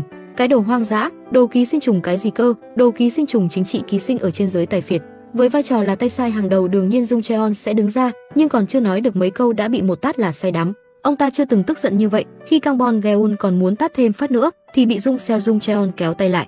Bảo vệ muốn tới đó khuyên ngăn, kết quả là tình hình ngày càng hỗn loạn, thiên thời địa lợi nhân hòa nên cả hai bên dĩ vi vu quý lao vào bem nhau, cũng không quan tâm đến việc xem là ai đánh ai nữa, chỉ cần không phải là người của mình thì nhìn thấy là đánh. Và do sợ người khác nói là ông ta không biết đánh nhau, nên đã sử dụng cách thức đá cao mà ông tu luyện bao lâu nay. Vô ảnh cước tuyệt kỹ thầy tu mù cứ thế ông đá hai phát vào khâu trung còn người chúng thì tôi chưa thấy. Han Pan do còn chưa biết người đối đầu với mình, không chỉ có mỗi Kang Iun, tài liệu mà Ryan đưa cho Kang Iun trong tiệc sinh nhật hôm qua cũng là một phần sức lực quan trọng giúp đỡ Kang Iun lên sàn. Jin Guk cũng không thể kiên trì nổi trước sự lạnh lùng của Ryan. Anh ta cầu xin Ryan làm lành với mình, rồi lại nói bí mật trong món đồ truyền phát nhanh với Ryan. Đó là tài liệu mà lần trước giám đốc Kim tìm công ty chất bán dẫn, tất cả đều là chỉ thị của giám đốc Kim không liên quan tới anh ta. Nói dối trước mặt Ryan thì cũng ổn mà là ổn lòi lìa, Ryan không lật tẩy lời nói dối của anh ta. Cô chỉ ghi âm lại tất cả những lời anh ta nói, dùng nó làm bằng chứng quan trọng để khởi tố và giao lại cho Moon Hee. Sora bên này vẫn còn có tâm trạng, lựa chọn các loại trang sức đắt tiền khác nhau như một bà hoàng, cuộc sống vương giả sở hở stress là đi shopping. Nhìn thấy chồng trên tin tức cô ta mới biết là đã xảy ra chuyện lớn. Han Pan tức giận nhất định sẽ tìm Sora để nói chuyện đàng hoàng. Nói ngay cho tôi, biết bố đang tìm mình. Sora căng thẳng vẫn luôn cắn chặt ngón tay. Cô ta là người hiểu rõ thủ đoạn của bố mình nhất. Khi Han Pan do tìm thấy cô ta chỉ có thể bất lực gào thét, chạy mau. Lúc này Kang Iun vốn dĩ không có tâm trạng thiệt tung. Anh tới cửa nhà Ryan nhưng chỉ bắt gặp Moon Hee. Anh bị Moon Hee cảnh cáo một lần rồi lại quay trở về bữa tiệc. Anh bất ngờ nhận được món quà mà Ryan gửi tới, đó là một chiếc đàn bandoneon. Chỉ có Ryan mới hiểu được nỗi đau sâu thẳm trong lòng anh. Ryan hy vọng chiếc bandoneon này có thể ở bên cạnh Kang Eun xoa dịu vết thương trong lòng anh, còn có cả linh hồn người mẹ đã qua đời của anh nữa. Anh không biết, có lẽ đây là lời chào tạm biệt cuối cùng của Ryan dành cho mình. Nhưng anh không thể nào quên nổi, lúc này, sau khi Moon Hee gặp mặt Kang Eun, bà ta đã không thể chịu đựng nổi quả bom hẹn giờ Ryan nữa. Ryan đeo kính dâm, trên vai là một chiếc túi có sợi xích vàng to trả bá lửa. Cô đang cảm thán vì kế hoạch của mình đã thành công. Hai ngày nay cô không nhìn thấy Sora, ai ngờ cô lại được thông báo. Lúc này Sora đang mở cuộc họp phụ huynh, chỉ không mời mỗi mình Ryan. Cô đi theo những phụ huynh khác tới phòng họp, tháo kính dâm xuống từ từ bước vào trong hội trường. Cô make up với màu mắt màu xanh độc thân khiến người ta thấy khó hiểu. Sora thấy Ryan tới, liền không được vui, đã có một kẻ không được mời mà tới. Biểu cảm của Ryan rất bình tĩnh, nhưng trong lòng lại cảm thấy rất kỳ lạ, tại sao sau khi chịu đựng cú sốc lớn như vậy, cô ta vẫn còn tâm trạng tổ chức. Thiệt ăn mong tập đoàn Lee lên sàn thành công, Sora từ từ bước về phía Ryan không nói gì mà tát một cú trời giáng. Chẳng phải cô muốn nói với tôi nguyên nhân sao? Cô ta lại tắt thêm một cái nữa cũng khá ngất ngây, sau đó cô đưa ra lời cảnh cáo với mọi người ở đó. Ai tiếp cận hoặc lại gần Ryan thì có nghĩa là đang đối đầu với cô ta. Cô ta còn nghĩ xem làm thế nào để xử lý thuộc hạ cũ của mình. Ryan bị tát hai phát hoàn toàn không bỏ đi ngay lập tức. Ngược lại cô còn nở nụ cười vô tri nhìn Sora, sau khi xác nhận Sora đã bị kế hoạch của mình làm ảnh hưởng, cô liền xoay người rời đi. Cô tin chắc Sora không thể thoát khỏi lòng bàn tay năm ngón xinh xinh ngón nào cũng thon của mình. Có điều tôi không thể hiểu được tâm trạng và trạng thái hiện giờ của Sora, tại sao cô ta vẫn có thể duy trì được sự ổn định như vậy. Sau khi cuộc họp kết thúc, Ryan lại tới tìm Sora một mình, thì ra nhờ phúc của Ryan mà cô ta đã nhận được bồi thường từ chỗ Kang Iun, không chỉ kết thúc thời kỳ chiến tranh lạnh với Kang Iun, mà còn giành được quyền kiểm soát trung tâm thương mại. Sora kêu ngạp không cho phép mình thua kém người khác. Cô ta cố ý nở nụ cười, khiêu khích người phụ nữ khiến cô ta ốt hận này. Cô ta vui vẻ nói rằng nhờ họa mà mình gặp phúc. VL không biết sự thật đã bị nụ cười đắc ý của Sora chọc giận. Tất cả mọi chuyện là do Kang Iun muốn nhờ Sora giúp đỡ, để Lipai được thuận lợi lên sàn mà đã nỗ lực tạo ra. Ryan tới tìm luật sư Seo, có lẽ đây là nơi duy nhất có thể giúp cô tránh được hồng nhan bạc phận sóng gió. Cô cần tìm một người để tâm sự. Ryan không hiểu có chuyện gì xảy ra, chỉ nhìn bản tin và ngây người ra. Luật sư Seo thì ở bên cạnh cố gắng an ủi Ryan. Ryan bất ngờ trở nên không tự tin cô sợ hãi mình sẽ thất bại, người mà cô lo lắng chỉ có Moon Hee thôi, chính là người mà hiện giờ em gọi là mẹ. Nếu em gặp phải chuyện gì bất chắc thì anh hãy giúp đỡ cô ấy cho em, được chứ? Quả nhiên bản tính lương thiện, Ryan vẫn chưa không bị sự báo thù làm cho hắc hóa, đã đi hoàn toàn. Sự lương thiện ấy chỉ tạm ẩn đi thôi. Chính vào lúc Ryan chuẩn bị rời đi thì luật sư Seo đã gọi cô lại. Anh đã đè nén quá lâu rồi, trước đây anh không muốn mang lại gánh nặng cho em nên đã che giấu tình cảm của mình, nhưng hiện giờ anh đã thay đổi, anh nặng hơn cả trước kia. Ryan chỉ lặng yên không nói, Em có biến mất trên thế giới này cũng không có ai buồn. Sao em lại có suy nghĩ này chứ? Em là người còn quan trọng hơn bản thân anh nữa. Anh yêu em. Đối diện với lời tỏ tình chân thành của luật sư Seo, Ryan không thể nào trả lời. Em không cần phải trả lời anh ngay bây giờ. Em chỉ cần biết, cho dù cả thế giới sụp đổ thì anh cũng đứng ở bên cạnh em. Trên đời này còn có một người thích em như vậy. Khi em làm xong tất cả mọi thứ mà mình muốn, thì hãy nói cho anh nghe đáp án của câu tỏ tình lần này. Anh sẽ luôn luôn chờ em. Cái anh này ảnh sim như cái cách tôi sim crush mình nữa đúng là phận đàn ông 12 bến nước một nhà tài phiệt bậc nhất Hàn Quốc lại cầu hôn ở một giáo đường mục nát, chủ tịch Kang đeo nhẫn cho Ryan. Sau đó trịnh trọng hỏi một câu ly ra eo, em có dám nói trước mặt Chúa rằng người đàn ông đang đứng trước mặt là người mà em yêu không? Việc cầu hôn bất ngờ làm Ryan không biết phải trả lời thế nào, vốn dĩ vì trả thù mới tiếp cận chủ tịch Kang, nhưng tình cảm của hai người đã được rèn rũa đến tận bây giờ. Ryan cũng đã nảy sinh tình cảm thật lòng với chủ tịch Kang. Tình cảm này khiến cô cảm thấy vô cùng tội lỗi với người cha đã mất trong lúc rằng xé tâm can Ryan đã không chịu được mà ngất đi, vì thế lời cầu hôn cũng chưa nhận được lời hồi đáp. Ngày hôm sau, Ryan và chủ tịch Kang ra biển đi dạo, cảnh tượng này đã bị vệ sĩ của Han Sora nhìn thấy, vệ sĩ lập tức báo cáo với cô ta việc này. Han Sò ra lệnh cho vệ sĩ nhân lúc chủ tịch Kang không ở đó bắt Ryan đi, sau đó xử lý như nào cũng được. Lúc này Ryan hoàn toàn không nhận ra nguy hiểm đang cận kề cô vẫn đang vì lời tỏ tình chân thành của chủ tịch Kang mà rơi cái thế lâm ly bi đát. Nhìn biểu cảm của Ryan, chủ tịch Kang biết việc cô bị ngất không phải là ngẫu nhiên, anh ta hỏi cô nguyên nhân bị hôn mê lúc mình cầu hôn nhưng Ryan vẫn tìm cách trốn tránh. Chủ tịch Kang nắm lấy tay cô, sau đó kéo tay áo ra, dưới lớp băng cá nhân là vết thương gần đây cô tự dùng dao rạch đứt. Vết thương này làm anh ta hiểu được trong lòng Ryan không hề yên bình cứ như con sóng solo đài vỡ trong bóng đêm. Chủ tịch Kang muốn Ryan cứ thẳng thắn đối diện với mình, nhưng thù hận và sự gần gũi của tình yêu khiến cô bị bóp nghẹt. Quay về phòng, Ryan nhận được tin nhắn hẹn gặp của nghị viên Seo. Sau khi chủ tịch Kang đi khỏi, nghị viên Seo đã đến địa điểm hẹn hò của Ryan và chủ tịch Kang. Thế đặc biệt đến đây để nói với cô, hy vọng cô từ bỏ tình cảm với chủ tịch Kang. Ryan chỉ đứng im không trả lời, nói xong luật sư Seo đau lòng rời đi. Lúc Ryan đang chuẩn bị quay về phòng, một người đàn ông áo đen chặn trước mặt cô. Ryan biết hắn ta có ý đồ xấu nên mau chóng chạy đi, kết quả lại có thêm hai người nữa xông ra, rất nhanh cô đã bị bắt đi. Lúc này một người đàn ông đã đánh vệ sĩ từ phía sau, thì ra là luật sư Seo nghe thấy tiếng la hét chạy quay lại ứng cứu Ryan tay cầm cành cây hóa thành Forgentino. Trong lúc công bố thành lập phòng hoạt định chiến lược của công ty Ryan là người phụ trách phòng hoạt định chiến lược, này là để kiểm soát tất cả dòng tiền trong cả tập đoàn tương đương với việc nắm toàn bộ huyết mạch sống còn. Ông Han Pan do xem tin tức sao cỡ đó chỉ đủ để nhét kẽ răng thôi. Tiếp theo trong cuộc họp báo, đoàn luật sư cũng công bố với nhân dân cả nước tin tức này khi mua vụ kiện là 10.000 tỷ won, số tiền bồi thường khổng lồ nhanh chóng đã làm chấn động cả nước. Han Sosa của cô đã tự mình làm chủ cô hùng hổ chạy đến nhà bố định lý luận quen, không ngờ lại ăn một cái tát đớn đau từ bố mình. Con nhỏ đó khác với những người đàn bà trước đây, với tình hình này không khéo động tới à ta thì cả những chuyện ngày xưa đều sẽ bị khui ra hết. Mày rõ chưa hả? Nghe những lời này của ông Han Panzo, Ryan càng chắc chắn Han Sosa chính là hung thủ giết hại mẹ mình. Cô đến bệnh viện thăm luật sư Seo vừa tỉnh lại, luật sư Seo không lo cho mình mà lo cho sự an toàn của cô hơn.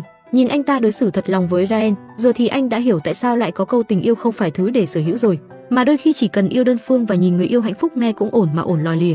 Để đối phó với Han Sora, Ryan cũng lấy ra con cờ trong tay, hai phụ nhân đối đầu với Han Sora, hai giáo viên đã lần lượt đến cục cảnh sát báo án.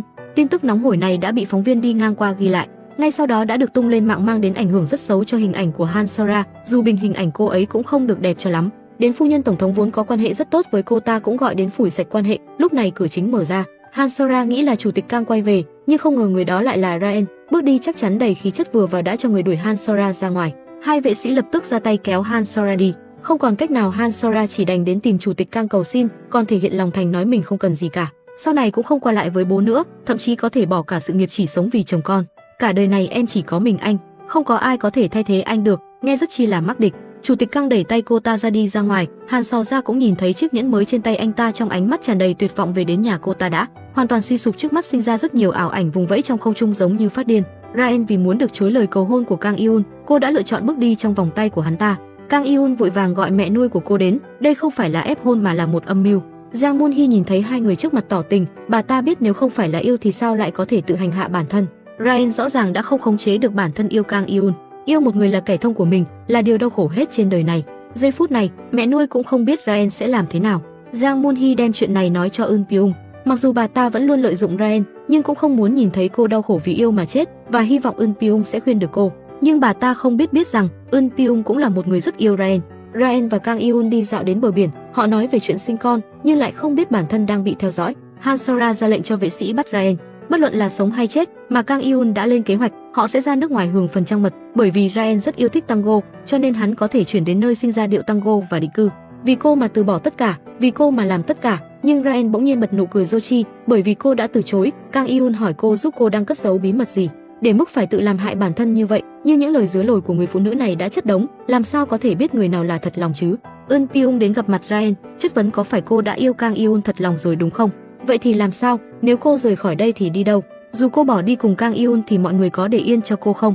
Eun Pyung nghe thấy vậy nên tức giận, anh không thể bỏ mặt cô cao chạy xa bay, nhưng bản thân anh cũng không biết nên làm gì, anh rất chi là crazy.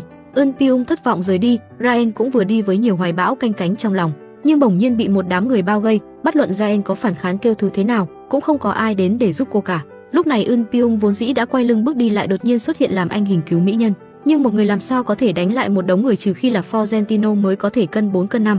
Một tên trong đó bỗng nhiên rút ra một con dao, lao thẳng đến còn tên áo đen khác đã nhận ra thân phận của Eun bị dọa sợ hãi liền chạy trốn. Han Sora biết người bị đâm là Eun liền bị dọa tím màu. Phải biết Eun bây giờ là thư ký của thị trưởng, nếu bị phát hiện cô ta cũng kêu đời, cô ta sao tự nghĩ nhanh chóng đi điều tra xem thương thế của Eun Bên này tại bệnh viện việc đầu tiên sau khi Eun tỉnh lại chính là muốn nhanh chóng rời khỏi bệnh viện. Chỉ có làm như vậy mới có thể bảo vệ Ryan, nhưng người tốt thì lại không có được sự cảm.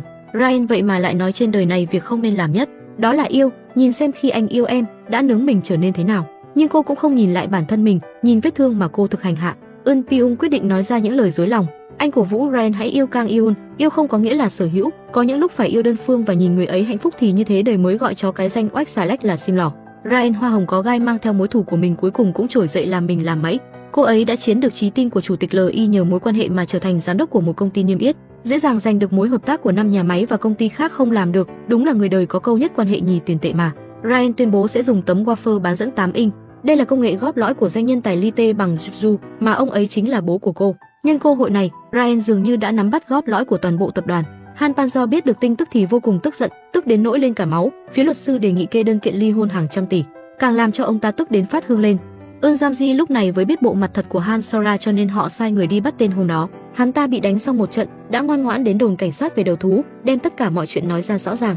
Vừa hay một tên nhà báo đi qua ngang qua nghe ngóng được, tin tức nhanh chóng được đưa lên phở bò top top thành tin hot trending trên mọi mặt trận. Han Sora đã rơi vào bước đường cùng, tổng thống phu nhân gọi đến để hỏi chuyện, bà ta muốn cắt hết quan hệ với Han Sora.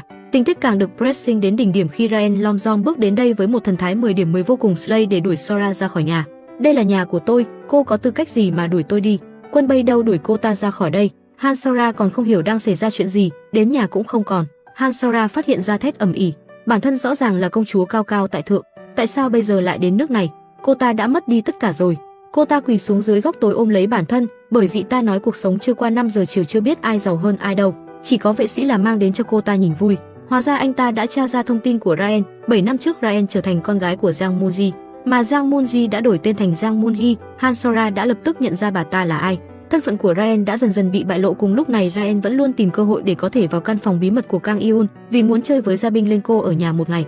Đợi khi Kang Iun tới đi, Ryan và Dabi liền cùng nhau đi trốn tình, cô cố tình dẫn Dabi làm trong căn phòng của Kang Iun. Sau đó nhìn cô bé nhấn mật khẩu căn phòng bí mật, đến cô bé 3 tuổi cũng đã bị Ryan lợi dụng. Sau đó cô bảo quản gia đưa hai bé rời đi, còn bản thân thì đi vào căn phòng đó, thuận lợi vừng ơi mở ra căn phòng bí mật. Còn kinh nghiệm lần trước, lần này Ryan đã cầm theo điện thoại để chụp ảnh để về cấp cuộc rượt rượt. Trước tiên chụp một pic toàn cảnh căn phòng, sau đó chụp lại từng văn kiện quan trọng, không bỏ sót bất cứ tài liệu nào. Sau hồi cân đo đong đếm rảo mắt xung quanh thì cuối cùng cô cũng tìm thấy tài liệu bản thân muốn tìm. Trên đó có đầy những vết máu đỏ thấm trang giấy. Cô nhớ lại năm đó bố mình bị hành hạ, bị ép buộc ký vào hợp đồng chuyển nhượng.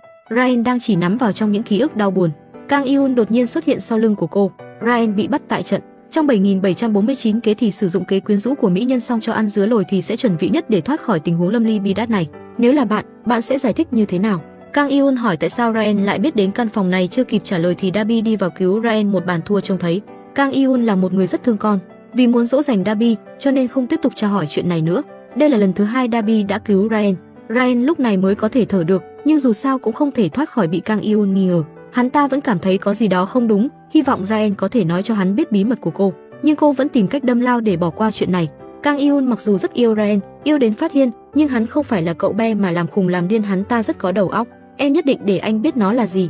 Ryan vội vàng nói chuyện này cho Giang Moon Hee biết sau đó còn gửi hết những tấm ảnh mà mình chụp được ở căn phòng bí mật cho bà ta. Nhưng cô lại không thể biết bà mẹ nuôi của mình đã bị thuộc hạ của Han Sora bắt giữ, thân phận cũng đang bị bại lộ, nhưng dù dưới kéo thì bà ấy vẫn phun nước bọt vào mặt Sora khiến tôi rất là đã cái nư. Vệ sĩ quyết định sẽ ra tay với bà ta, sau đó tiến hành tra tấn dã man. Han Sora ra liền trang điểm cho bản thân bình thật xinh đẹp, tâm trạng vô cùng vui vẻ. Thư ký hỏi cô có chuyện gì vui vậy?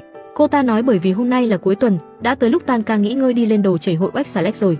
Sora mời Ryan đi uống một ly, hơn nữa còn tốt bụng nói ra cái tên thật của cô. Lee Ryan, Ryan bị dọa trong mặt đầy biến sắc rồi đâm một cầu cà khịa xương xương. Sau đó, Han Sora đến tìm Kang Iun, Ryan lại không dám đến gần. Sora mời cô đến đây ngồi nói chuyện. Trước mặt Kang Iun cô ta lấy ra những tấm ảnh của Ryan thời cấp 3 và nói ra cái thân thật của cô.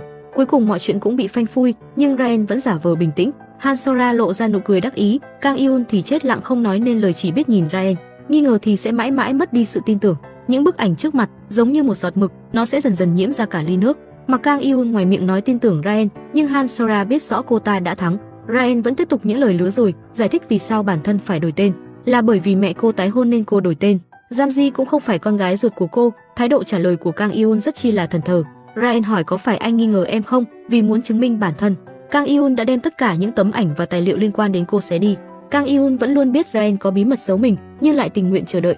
Đợi Ryan chủ động nói thật lòng những bí mật của cô thì mới có thể bình tĩnh giải quyết. Sau đó Ryan gọi điện cho Eun Pyung rằng thân phận của cô và Jang Moon Hee đều đã bị Han Sora phát hiện, chỉ còn chuyện công ty bán dẫn Zetix là chưa bị bại lộ. Ryan lén lút trộm chỗ tài liệu bị xé rách, nhưng cảnh này lại bị Kang Eun đứng trên lầu nhìn thấy. Trong lòng anh ta đã có biến đổi vô cùng lớn. Ryan bắt đầu triển khai sa thải các nhân viên.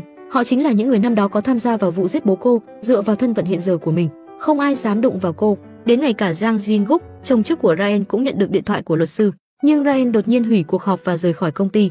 Điều này làm Kang Eun rất nghi ngờ. Ryan đi đến nhà của Giang Moon Hee, cô khẳng định bà ấy đã bị Han Sora bắt đi, cho nên vội vàng rời khỏi đó. Nhưng cô không hề biết bản thân bị Kang Eun theo dõi mình.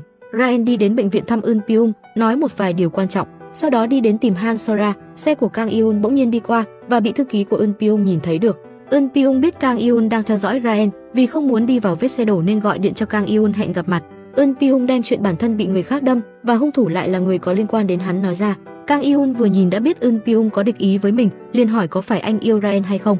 Tình yêu của chủ tịch Kang là thế này sao? Tình yêu của tôi là hy sinh. Anh nghi ngờ cô ấy, nhưng lại nói yêu cô ấy. Eun Pyung khẳng định người có thể luôn ở bên Ryan chính là anh. Bên này Ryan lúc này đã tìm gặp Han Sora, trực tiếp nói ra chuyện vệ sĩ trong danh bạ điện thoại của cô ta, mà Ryan đã thông qua camera nhìn thấy được số điện thoại của vệ sĩ Moon.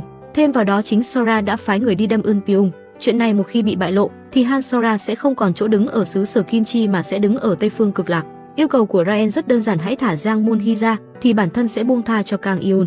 Lần này Han Sora đành bất lực cam chịu, sau khi về nhà liền phân phó cho vệ sĩ phải chăm sóc tốt cho Giang Moon Hee, không được có bất cứ sai sót nào. Ryan lại một lần nữa đi vào thư phòng của Kang Eun, nhưng mật khẩu đã bị thay đổi.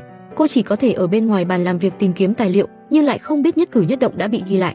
Kang Eun nhìn qua camera rất căng thẳng, trong đầu hắn hiện lên đoạn đối thoại với Eun Pyung. anh ta hỏi hắn tình yêu là gì. Vậy mà Eun Pyung có thể hy sinh tất cả vì Ryan. Vậy bản thân hắn có thể làm được gì? Chỉ cần em thích là cái gì anh cũng chiều ư? Sau đó Kang Eun nhờ Ryan lấy cho mình một hộp quà. Ryan tiện tay lấy được tài liệu thu mua công ty năm đó của bố, sợ không kịp cô còn gọi điện thông báo cho Eun Pyung. quyết định tối nay sẽ rời khỏi Kang Eun, mà bên nhà của Han Panjo cũng có thu hoạch vô cùng lớn. Ông ta đã biết được có người đang kiện mình, hơn nữa còn thu thập được không ít bằng chứng. Ông ta hỏi Eun Giang có biết người đó là ai không? Anh giả vờ bản thân ngẩn ngơ cùng đôi mắt thất thần, vừa ra khỏi cửa đã gọi điện thông báo tình hình cho Ryan. Trước đó một ngày, Han Panjo đã tra rõ được thân phận của Ryan và Giang Moon Hee. Quả nhiên, ông ta đã điều tra ra Giang Moon Hee. Họ phân phó cho anh vệ sĩ Moon điều tra rõ chuyện này. Nhưng khi anh ta nghe thấy tên của Giang Moon Hee thì lập tức thay đổi sắc mặt. Đương nhiên cũng bị hai lão cáo già trước mặt phát hiện ra. Ở nơi khác, Ryan đã nắm chắc thời gian chạy trốn, cô lại uy hiếp Han Sora mau chóng thả Giang Moon Hee ra. Sora liền cuống cuồng, đợi đến khi về đến nhà gọi vệ sĩ, khi phát hiện ở đây không có bất cứ ai, đến Giang Moon Hee cũng không thấy đâu. Mới vừa rồi, kế hoạch trả thù của Ryan đã bị Kang Eun phát hiện, anh ta phát hiện lên chất vấn cô, tại sao cô không lừa lấy hết ví tiền của anh ta? Vì muốn bày tỏ tình yêu của mình, Kang Eun đã đem tất cả cổ phần mà mình có tặng cho Ryan.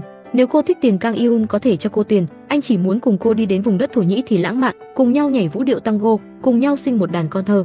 Ryan cảm động đến rơi nước mắt, người đàn ông này đối xử với cô quá tốt, nhưng cô không thể yêu anh ta, còn gì đau đớn hơn người yêu mình mình cũng yêu lại mà không thể đến với nhau cơ chứ bởi đời là bể khổ mà. Sau đó Ryan đem tài liệu thu mua công ty năm đó cho Eun Pyong, anh cảm thấy họ nhất định sẽ thắng, nhưng Ryan lúc này lại tỏ ra gương mặt vô hồn, bởi vì Kang Eun đã chủ động để cô bước vào căn phòng bí mật, có lẽ cô đã có chút do dự. Eun Pyong nói, họ có thể không công khai những tài liệu này, nhưng nếu làm như vậy cô sẽ không thể nhìn mặt bố mình ở suối vàng. Cô muốn tự mình nói với Kang Eun rằng, so với dưới lồi trong tình yêu, cô muốn bản thân thành thật với trái tim một lần. Cho nên Ryan đã hẹn Kang Eun gặp mặt. Anh ta bỗng nhiên cảm thấy lành ít mà giữ nhiều trực giác người đàn ông sim lỏ cho anh nhận thấy điều đó. Mà cùng lúc này, Giang Moon Hee đã bị khiêng xuống dưới hầm, hai người đàn ông này lên kế hoạch tà ma ngoại đạo, sẽ chuẩn bị một chút hương vị khi bà ấy tỉnh lại. Nhưng không ngờ Giang Moon Hee đã sớm tỉnh lại, lén bật máy định vị ở trong túi lên. Lúc này Ryan đã nhận được tín hiệu của bà ấy, cô lập tức điều tra ra vị trí của căn mật thất đó, không ngờ vị trí lại là nhà của Han Panzo. Cô vội vàng cầu xin sự giúp đỡ của Eun Pyung, Anh lập tức báo cảnh sát việc Giang Moon Hee mất tích, hơn nữa còn liên hệ cảnh sát ập vào nhà của Han Panzo. Han So ra bây giờ rất sợ mất đi Kang Yun. Cô ta liều mạng để vệ sĩ nhất định phải mang được Giang Moon Hee về, cho dù có làm trái ý của người bố của mình. Mà Han Panzo đang ngồi xem những đơn kiện, phát hiện trên đó có những câu bản thân đã từng nói. Ông ta lập tức ý thức được nhà ông ta đã bị người ta lắp máy nghe lén, phân phó thuộc hạ dùng máy kiểm tra kỹ càng từng ngóc ngách. Quả nhiên phát hiện rất nhiều máy nghe lén xung quanh phòng. Mà cũng lúc này, Kang Yun đã đi đến điểm hẹn, nhưng lại không nhìn thấy Ryan. Anh ta nhận được điện thoại của bố, biết được rằng công ty đã bị người khác khởi kiện. Nghe nói người đại diện để đơn kiện là Giang Moon Hee, cùng với con gái của công ty Zedix khởi kiện. Nếu con gái của công ty Zedix thật sự xuất hiện, thì công ty của họ sẽ tiêu đời. Kang Eun lập tức nhớ ra mẹ của Ryan, cũng tên là Giang Moon Hee. Anh ta bỗng nhớ đến bản hợp đồng năm đó liền lật đật đi tìm quả nhiên bây giờ đã không còn trong mật thất. Suy nghĩ hồi thì nhớ rằng trước đây chính Ryan đã cầm văn kiện đó trên tay và tất cả kịch bản đều đã được biên hết rồi. Kang Eun đi đến biệt thự để tìm Ryan. Số chiếc xe của Ryan vẫn còn đang ấm, đột nhiên bên ngoài truyền đến tiếng động lớn, ngay lập tức khiến Ryan cảnh giác, cô cẩn thận ra cửa để kiểm tra. Sau khi chạy qua đường hầm dài hẹp, cuối cùng cũng quay về phòng khách, nhưng đợi đến khi cô bước xuống, chỉ nhìn thấy chiếc xe cửa mình không đừng kêu. Mà Kang Eun đã không biết dùng bí thuật nào mà có thể lom rom đi vào con đường bí mật dẫn đến tầng hầm. Khi anh bước vào căn phòng bí mật này, chỉ thấy bên trong đầy máy giám sát, càng đáng sợ hơn nữa là những tấm ảnh được dán trên bức tường.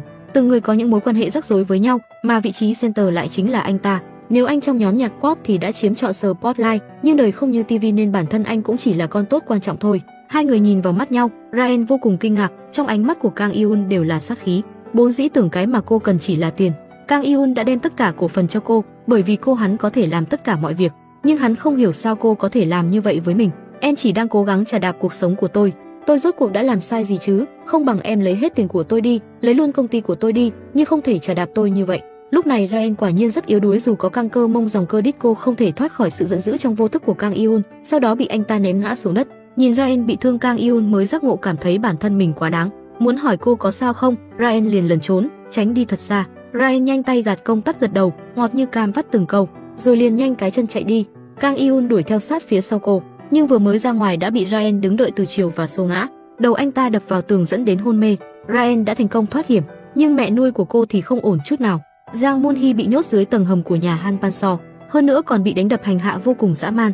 Nhưng cho dù chúng có chất vấn như thế nào, bà cũng không mở miệng tiết lộ chuyện gì, bà ấy không thể chết được. Han Sora muốn dùng bà ta để đổi lấy chồng của cô ta. Khi chúng đang vác người từ tầng hầm đi lên, thì Han Panso bất ngờ đi tới đó, nhìn thấy Han Sora muốn mang Giang Moon Hee đi, ông ta mắng con gái là đồ ngu, óc bã đậu. Nếu vụ kiện của Giang Moon Hee thành công, thì ông ta sẽ phải ăn năn sám hối ở trong ngục tù vĩnh hằng. Nhưng Han Sora lại không muốn ly hôn với chồng. Hai bố con liền to tiếng cãi cọ mà Giang Moon Hee lúc này đã tỉnh lại, nhưng không ngờ bị tên khốn Kim Jong Chun phát hiện. Lão ta độc ác ném bà ấy xuống đất, Han Pan do còn đạp bồi vào, nhưng vẫn chưa hết cơn giận. Ông ta liền nhặt một hòn đá to, tán tận lương tâm loài người đập vào sau gáy của Giang Moon Hee. Máu văng ra tung tóe rơi lên trên mặt của Han Sora, không khác gì đập đầu một con cá lóc. Lúc này Giang Moon Hee cũng đã không còn hô hấp. Bên ngoài ỏ óe ỏ óe tiếng từ cảnh sát truyền vào bên trong. Eun Pyung dẫn theo cảnh sát đến để điều tra. Han Pan do không hề sợ hãi sắp xếp cho tay sai xử lý, sau đó lấy lý do không có lệnh khám xét để từ chối Eun Pyung, nhưng ông ta không thể dọa được anh. Eun Pyung lấy lý do Giang Moon Hee mất tích làm lý do, trực tiếp ra lệnh cho cảnh sát tiến hành khám xét. Tất cả ngóc ngách đều đã tra xét, vậy mà không thể tìm thấy người, bởi vì Han Sora đã ôm thi thể của Giang Moon Hee trốn ở dưới tầng hầm cùng vệ sĩ. Nhìn thấy Eun Pyung không có thu hoạch gì trở về, Ryan cảm thấy có một cảm giác vô cùng lắng lo. Cô chỉ có thể tiếp tục chờ đợi tin tức từ cảnh sát. Han Sora bị bố của mình đánh đập, liên tục cầu xin ông ta tha thứ, nhưng Han Panzo không thể chấp nhận được bất cứ kẻ nào phản bội sau lưng. Đã vậy cô ta sống còn không có giá trị, vậy thì không bằng bây giờ chết luôn đi. Lúc này Kim Jae ông chăn đến báo cáo công việc, đã xác xác được nơi xử lý thi thể của Giang Moon Hee. Han Sora muốn trốn khỏi đây, nhưng cả đời này có lẽ cô ta bị nhốt tới tầng hầm này. Đến sáng ngày hôm sau, một ngư dân đi câu cá bỗng nhiên phát hiện một túi đen lớn, mở ra bên trong là một thi thể người phụ nữ không ai khác chính là Giang Moon Hee. Rất nhanh Ryan đã nhận được điện thoại thông báo từ phía cảnh sát. Giây phút cô nhìn thấy mẹ nuôi, Ryan khóc đến khàn cả giọng, nước mắt muốn rơi cũng không còn rơi được nữa. Trong những di vật của Giang Moon Hee, Ryan phát hiện ra một chiếc máy ghi âm. Bên trong có ghi lại toàn bộ đoạn đối thoại của Han Panzo. Càng thêm đáng sợ là Ryan đã nghe thấy quá trình mà mẹ cô bị sát hại. Mẹ của cô đã bị Han Sora nhốt dưới tầng hầm cho đến khi chết đói. Sau đó Kim Jong Chun đã vứt xác của bà ấy xuống dưới sông. Bởi vì ngày hôm đó vừa hay có rông tố bão to, cho nên vẫn mãi không thể tìm thấy xác bà ấy. Trái tim của Ryan như vỡ vụn, hành vi tàn bạo như vậy tại sao một con người có thể làm được? Tin tức Giang Moon Hee qua đời truyền đến tai của Kang Eun, anh ta bất chấp sự nghi ngờ của bản thân mà đến viếng thăm. Hơn nữa, còn đến ăn ủi Ryan, cô liền mặt sắc lạnh mở một đoạn ghi âm trong điện thoại ra để Kang Eun nghe thấy đoạn mẹ của cô đã bị sát hại thế nào. Kang Eun nói bản thân không hề biết chuyện này, không biết không có tội nhưng Ryan căn bản không hiểu tin tưởng, đuổi anh ta khuất mắt đi, rồi Nubakachi cái ngày mà cô trả thù hết từng người. Kang Eun đột nhiên nhớ đến chuyện của 13 năm trước, có một người đàn ông cầm một tấm ảnh đến tìm mình, Hắn ta làm việc cho Han Sora, xử lý người phụ nữ ở trong ảnh. Lúc đó Kang Iun đã về hỏi Han Sora đó là ai, nhưng cô ta lại nói dối rằng là một người xấu muốn phá hôn lễ của bọn họ, còn nói rằng bà ấy đã bị ôm chết. Bây giờ nhớ lại, người phụ nữ năm đó ấy vậy mà lại là mẹ Raen. Eun Pyong nhìn thấy hắn ta có mặt ở linh đường, cả khịa ngay Kang Iun quả nhiên là người đẹp trai vẫn không bằng người mặt dày. Kang Iun giải thích bản thân không hề liên quan đến chuyện của Giang Moon Hee, nhưng Eun Pyong đã nhận định anh ta và Han Panjo là cá mè cùng một lứa, khuyên anh ta nên chủ động đầu thú. Kang Iun bây giờ thật đáng thương, một bản thiết kế vĩ đại phụ nữ rất yêu mà giờ phải chịu cảnh tù túng này. Bị vu oan giá họa đã đành còn bị người mình yêu phũ phàng cho ôi cuộc đời lắm lâm ly bi đát. Gã đàn ông này đã chọc Ryan điên lên. Ryan bắt đầu lùi xe của mình về, vậy mà có thể lùi chính xác vào chân ông ta. Những tiếng kêu răng rắc phát ra, báo hiệu một mùa nhập viện sẽ sôi động biết bao. Có muốn chạy cũng không được. Ryan đi chậm chậm về phía ông ta, rồi vô cùng bình thản nhìn từ trên xuống dưới, dùng cái đếm 10 phân vẹn 10 của giày cao gót, mạnh mẽ dẫm thẳng vào cái chân đang bị thương của ông ta. Bị đau khiến ông ta kêu ầm lên, thì Ryan lại càng trở nên độc ác hơn, người đàn ông đó chính là kẻ thù đã giết bố cô. Năm đó bố của Ryan đã bị bắt lại, bị tra tấn dã man cho đến khi chết. Vì muốn báo thù, Ryan và Giang Moon Hee đã cùng nhau lên kế hoạch, mà Giang Moon Hee ngày hôm qua cũng đã lũ cặn bã xã hội đó hại chết, vì không có bằng chứng chỉ có thể nhìn mọi việc nhẹ nhàng trôi qua. Ryan bây giờ chỉ có thể công bố thân phận thực sự của mình, sau đó trở thành người đại diện mới thay cho Giang Moon Hee. Lee Ryan mất tích 13 năm đã quay trở về, lập tức thu hút rất nhiều sự chú ý của mọi người. Han Panzo và Kim Jong Chun cũng vô cùng kinh ngạc. Kim Jong Chun đã đến trước để ngăn cản Ryan bước vào tòa án, nhưng ông ta đã đến muộn một bước rồi. Ryan bị một đám phóng viên bao quanh, bên cạnh còn có vệ sĩ mở đường. Chúng căn bản không có cơ hội hạ thủ, đợi đến khi Ryan ra ngoài. Ryan nhìn xa xa kìa bóng dáng ai bóng dáng ai đó là Kim Jong Chun đang đứng ở ngoài. Lập tức lái xe lao thẳng về phía ông ta cuối cùng phế được đôi chân của ông ta, còn ra ngạo nghễ vứt một tấm danh thiếp vào mặt, coi mà ta nói đã cái nêu quá trời. Lần sau gặp mặt riêng cho dễ nói chuyện. Mà cùng lúc này, Eun Pyong cũng ở trong buổi phỏng vấn tiết lộ anh đã từng bị tấn công, mà còn công khai bốn người đó là Han Panzo, Han Sora, Kim Jong Chun và Kang Iun. Nhưng có một người sẽ nhận được sự đặc xá của Eun Pyong. Han Panzo thấy vậy tức đến tím người, nhưng chuyện càng kinh khủng hơn ở phía sau. Cả ba công ty luật đều bỏ giúp đỡ giải quyết vụ ly hôn của Han Sora, bởi vì tập đoàn Lee đang bị kiện, thêm vào đó là chuyện của Eun Pyung, bây giờ căn bản không có chút hy vọng nào cả. Han Sora trốn trong nhà của Kang Eun không dám rời đi, nhớ lại lúc cô ta bị bố nhốt trong căn hầm đó, đã nhìn thấy Giang Moon Hee chết như thế nào. Vậy mà bà ấy lại quay về, hơn số gia điên cuồng đuổi bà ấy đi. Thần kinh ngày càng trở nên hỗn loạn bất ổn. Trên tay của cô ta đã giết quá nhiều mạng người, Han Sora điên cuồng muốn rời khỏi nơi đó. Nhờ sự giúp đỡ của vệ sĩ Moon, Hân Số Gia đã ngồi trên xe cứu thương rời khỏi căn hầm đó. Cô ta đã không còn nhà để đi chỉ có thể cầu xin Kang Iun giúp đỡ. Nhưng anh bây giờ là đã ở một cương vị khác không còn Kang Iun hiền hòa bất cần đời nữa khi biết chính Sora là người hại chết mẹ Rain Đối với Sora anh hận đến tận xương tủy, nhưng Han Sora vẫn không chịu thừa nhận, ngược lại quỳ xuống cầu xin. Nếu cô ta quay về nhất định sẽ bị Han Panzo đánh chết. Không chỉ có anh ghét bố em, em cũng không muốn về bên ông ta. Em không dám cầu xin anh quay về với em, chỉ cần cho em một chỗ trốn là được rồi. Nóng thì nóng như vậy nhưng nghe lời một người con gái cầu xin như vậy thì Kang Iun cũng mềm lòng cho qua, không thể thấy chết mà không cứu. Nhưng khi anh ta tự nhốt bản thân mình trong phòng, mấy ngày không ăn không uống, Han Sora rất lo lắng cho anh ta đem đồ ăn tới thì đột nhiên Kang Iun mở cửa ra ngoài. Nửa đêm anh ta đến tìm Ryan để mong nói một lời xin lỗi ra trò ra trống, chi phí mua lại công ty bán dẫn Zetix năm đó, nên bồi thường bao nhiêu, Amstar sẵn sàng lấy ra bấy nhiêu, chỉ hy vọng Ryan có thể kết thúc trận chiến lần này. Nhưng nhìn mặt chị Ryan giờ có phải người thiếu tiền không? Không ngờ Kang Iun trực tiếp quỳ gối xuống, nhưng dăm ba mấy cái quỳ gối này có là gì với những gì cô ấy đã trải qua trong ký ức của mình? Chẳng qua chỉ là quỳ thôi mà, ai mà không quỳ được chứ? Bây giờ tất cả đều công bằng, người bị hại sẽ được bồi thường như cách thủ phạm đã làm, còn thủ phạm hãy ngồi đợi quả báo đến đi, đây mới thực sự là đền tội. Kang Iun hỏi cô muốn làm gì, Ryan nói cô muốn bốn người bọn họ phải chết giống như bố mẹ của cô vậy.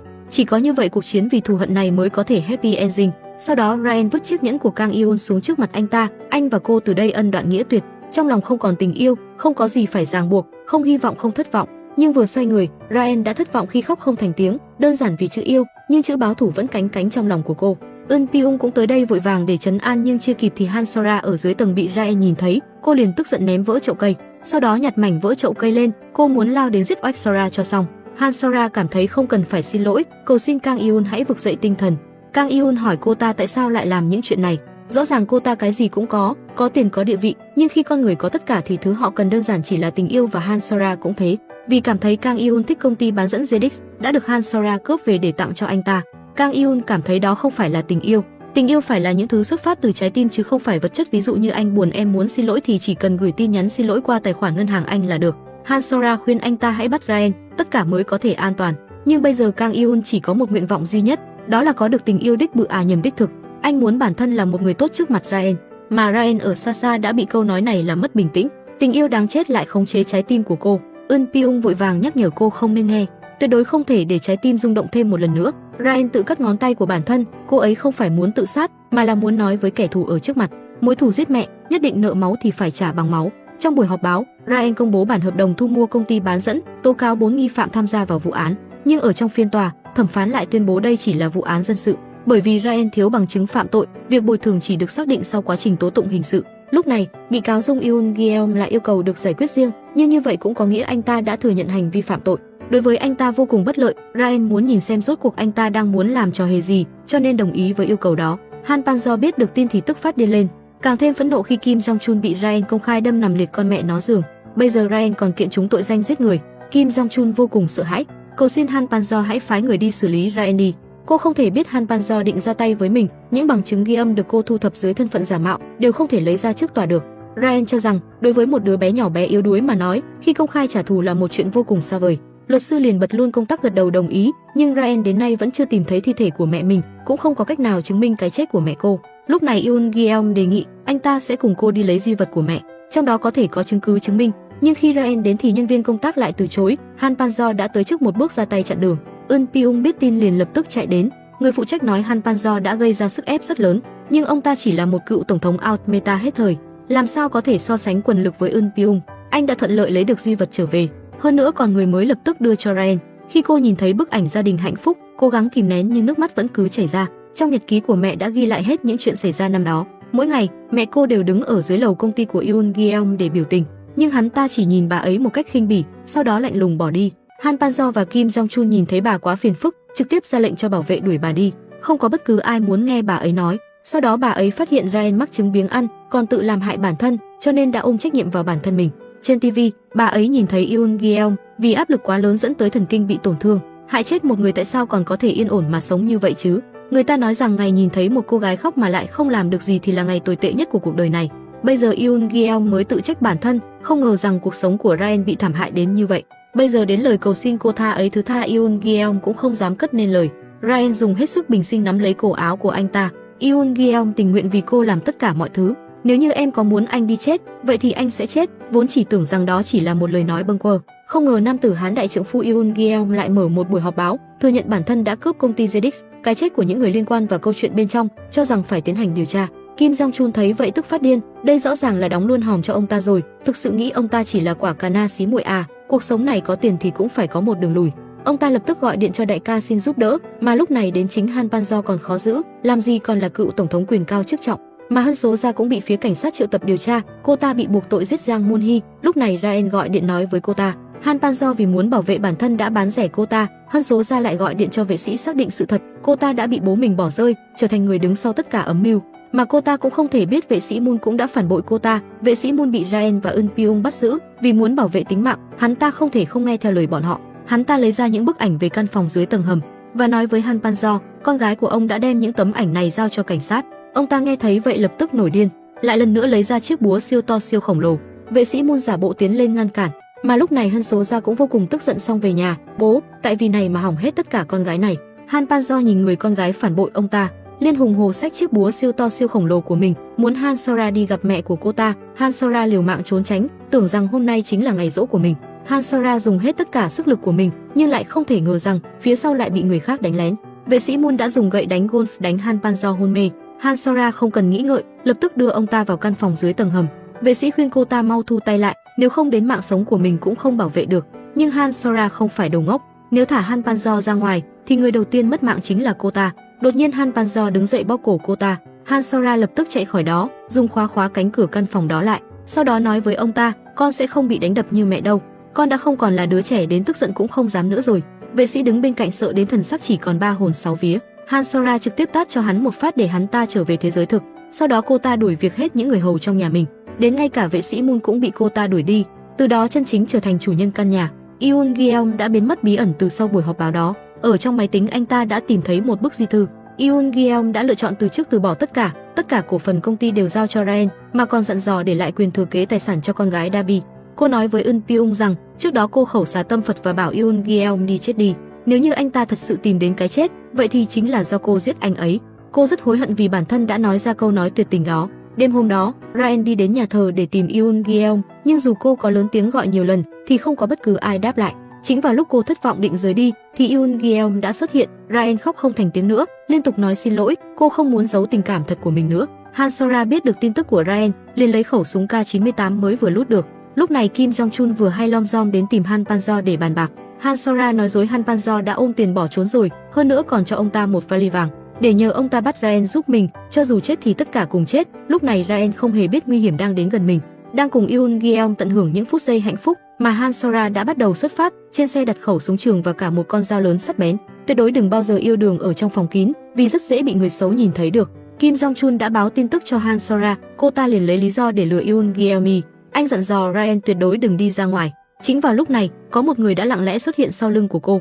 Kim Jong Chun liền lao vào tấn công Ryan, cô liền lấy ra một chiếc cút đôi khi flexing chỉ là vô tình, dứt khoát đập thẳng vào chân của lão ta. Sau đó nhanh tay cướp đi chiếc búa trên tay lão, nhặt chiếc búa lên, dùng hết sức đập một nhát. Nhưng rất tiếc là vào ô mất lượt, Ryan lại nhấc chiếc búa lớn lên, thẳng tay đập vào chân của lão ta sau nhiều nhát búa dứt khoát chân của Kim Jong Chun cuối cùng nát bấy, nhưng vẫn cố gắng lấy cây đèn ngủ bên cạnh đập vào lưng Ryan. Kim Jong Chun lồng cồm vào dậy, ngồi lên trên người của cô, lão bóp cổ Ryan, hai tay dùng hết sức muốn đưa cô vào chỗ chết. Ryan đã không thể thở nổi, hai chân dễ dụa, đôi mắt đã nhắm lại, Ryan dường đã sắp đi lên thiên đàng gặp mẹ mình. Đột nhiên Kim Jong Chun bị đánh lén ở sau lưng, Yoon Gyeong đã cầm chiếc búa lớn đánh ông ta. Yoon Gyeong dùng cách tương tự bóc cổ của lão ta. Sự tức giận đã bao trùm ý chí ANHTA không thể dừng tay, muốn dồn Kim Jong Chun vào chỗ chết. Yoon Gyeong dùng hết tất cả sức lực mình có để ra tay. Anh đã phát hiện rồi. May mắn Ryan tỉnh táo kéo Yoon Gyeong ra. Lúc này Yoon Gyeong mới biết anh đã giết người. Ryan không thể nào bình tĩnh nổi. Anh cảm thấy vô cùng đau lòng và an ủi cô. Em là người tốt, đừng nói dối cũng đừng hận thù nữa. Sau này, em hãy sống những tháng ngày thật hạnh phúc. Yoon Gyeong một mình nhận hết tựa danh giết người. Hy vọng Eun Pyung có thể ở bên và chăm sóc Ryan. Eun Pyung bây giờ đã nhìn Yoon Gyeong bằng con mắt khác. Han Sora chờ đợi suốt một đêm, nhưng lại không thể liên lạc được với Kim Jong Chun. Đến nơi thì thấy lão ta đã biến thành thi thể. lúc này mới biết lão không được việc, xem ra nhà bao việc nhưng vẫn phải để bản thân cô ta ra tay thì mới được. Sau đó Han Sora về xe, trang điểm lại cho bản thân, bôi cho đôi mắt của bản thân thành màu đen để bản thân trở nên càng độc áp. Han Sora nhìn khuôn mặt của bản thân mà cười một nụ cười hoang dại. Rất nhanh cô ta đã bắt cóc được Ryan. Yoon Gyeong cũng lái xe đuổi theo ở ngay phía sau cô ta. Những lời mà anh nói làm Han Sora càng khiến tức giận, liền bắt đầu điên cuồng lái xe. Tất cả đều đã đánh mất lý trí. Lúc này, Ryan đã tỉnh dậy và tháo được dây chói của mình. Cô sẽ đi băng dính trên miệng, sau đó lao lên dùng tay khóa cổ Han Sora. Cô ta không thể thở nổi hai mắt nhắm chặt. Chiếc xe lao vào sườn núi rồi dừng lại. Lúc này Han Sora lấy ra con dao nhọn như kiếm, một nhát quyết đoán, đâm thẳng vào bụng của Ryan. Cuối cùng nó cũng có tác dụng. Ryan đã không còn sức để phản kháng, chỉ nở một nụ cười Jochi. Con dao này dùng tốt lắm, tôi cũng muốn mua một cái, nhưng Han Sora lại không thể đáp trả. Ryan cười nhạo cô ta không biết tình yêu là gì, mà mãi mãi cũng không có được tình yêu. Mà lúc này Yoon Gyeong đã kịp thời đuổi đến, anh ta khống chế Han Sora, Eun Pyong cũng đã đi đến ôm lấy Ryan, nhưng Han Sora bây giờ đã phát điên không thể dừng lại. Yoon Gyeong đóng cửa xe và chốt lại, ai cũng đừng mơ xuống được xe, chồng cũ đem cửa xe khóa lại. Han Sora điên cũng muốn mở cửa xe ra, cầu xin Yoon Gyeong hãy thả cô ta ra, nhưng dù cho cô ta có gào thét thế nào, thì Yoon Gyeong cũng ngồi im bất động. Anh nói với Han Sora, có những chuyện cũng nên kết thúc rồi. Trên mặt của cô ta hiện rõ sự sợ hãi. Yoon Gyeong dùng ánh mắt cuối cùng nhìn về phía Ryan, mong muốn Eun Pyung có thể cho cô một đời an nhiên. Đó chính là việc cuối cùng mà anh có thể làm cho người anh yêu nhất. Yoon Gyeong kéo phanh xe, nhấn chân ga, không một chút do dự, một đường thẳng cắp, lao thẳng xuống vực. Han Sora vô cùng sợ hãi, tại sao anh chết lại bắt cô ta chết theo, nhưng tất cả đều đã muộn rồi. Ryan tận mắt chứng kiến người mình yêu chết, cô gào khóc đau đớn, không thể tưởng tượng nổi, cô lại một lần nữa mất đi người mình yêu nhất. Yoon Gyeong chết rồi, mà Han Sora bị thương nặng, Eun Pyung vẫn luôn ở bên chăm sóc cho Ryan. Cho đến khi cô tỉnh lại nghe tin Yoon Gyeong đã chết, mà thi thể cũng đã bị thiêu rụi, Ryan vẫn không thể kìm nén được mà bật khóc. Nhưng rất tiếc, lần này cô đã không còn nước mắt để khóc nữa rồi. Han Sora đã quên đi những ký ức không vui, xuất hiện tình trạng tâm thần phân liệt, cô ta ôm một chiếc chân coi nó là con gái, trong miệng luôn lẩm bẩm, trên chân đi đôi giày pha lê, vẫn luôn cho rằng bản thân là công chúa cao cao tại thượng. Ryan không thể để cô ta dễ dàng như vậy, cô cầm lấy một chiếc gương đến, để cô ta có thể nhìn thấy khuôn mặt sẹo xấu xí, Han Sosa không thể chấp nhận nổi. Ryan đã làm cô ta nhớ lại những chuyện kinh khủng đã xảy ra, cô ta phải mãi mãi sống trong đau khổ. Đó mới là sự trừng phạt lớn nhất, luật hoa quả không trừ một ai, mà vệ sĩ Moon của Han Sora là nhân chứng ra tòa. Từng tội ác một đã bị vạch chân, khi cảnh sát tìm thấy Han Panzo, ông ta đã bị đói chết ở căn phòng dưới tầng hầm. Cuộc này cơ bản những nỗi đau, Eun Pyung từ nhỏ đã không bố không mẹ vượt qua những nỗi đau khổ sẽ đến đỉnh cao cuộc sống, nhưng trên người Eun Pyung không nhìn thấy chút nào hận thù và tức giận. Ryan rất thắc mắc hỏi anh tại sao lại vậy. Eun Pyung nói ra một tràng dài giải thích nhưng Ryan vẫn ngơ ngác không hiểu. Nói chung anh cảm thấy mình rất hợp làm thầy giáo giáo dục công dân mà Yoon Gyeong đã toàn tâm toàn ý yêu Ryan. Họ đều cùng trải qua những nỗi đau cùng có chung sở thích, đã chữa lành vết thương trái tim cho nhau để họ càng trở nên mạnh mẽ hơn. Tình yêu chân chính, tình yêu của Eun Pyong không được hồi đáp, nhưng anh đã lựa chọn chúc phúc cho cô. Ryan muốn đi nước ngoài du lịch, nhưng lại không có chuyến bay khứ hồi, cũng không xác định bao giờ trở lại. Eun Pyong vui vẻ lên trên mạng tra thông tin, điệu nhảy tango nổi tiếng nhất ở đâu. Mặc dù anh một chút cũng không hiểu, nhưng vẫn kiên quyết từ chức nghị viên quốc hội để theo đuổi bước chân của Ryan, có thể gặp được cô không không quan trọng. Quan trọng là bản thân anh sẽ không phải tiếc nuối và hối hận, đời người là bể khổ, mãn nguyện là hạnh phúc, tình yêu rất đẹp, phù hợp là thành đôi trăng long đầu bạc sống chọn kiếp người. Được rồi, bộ phim đến đây là kết thúc.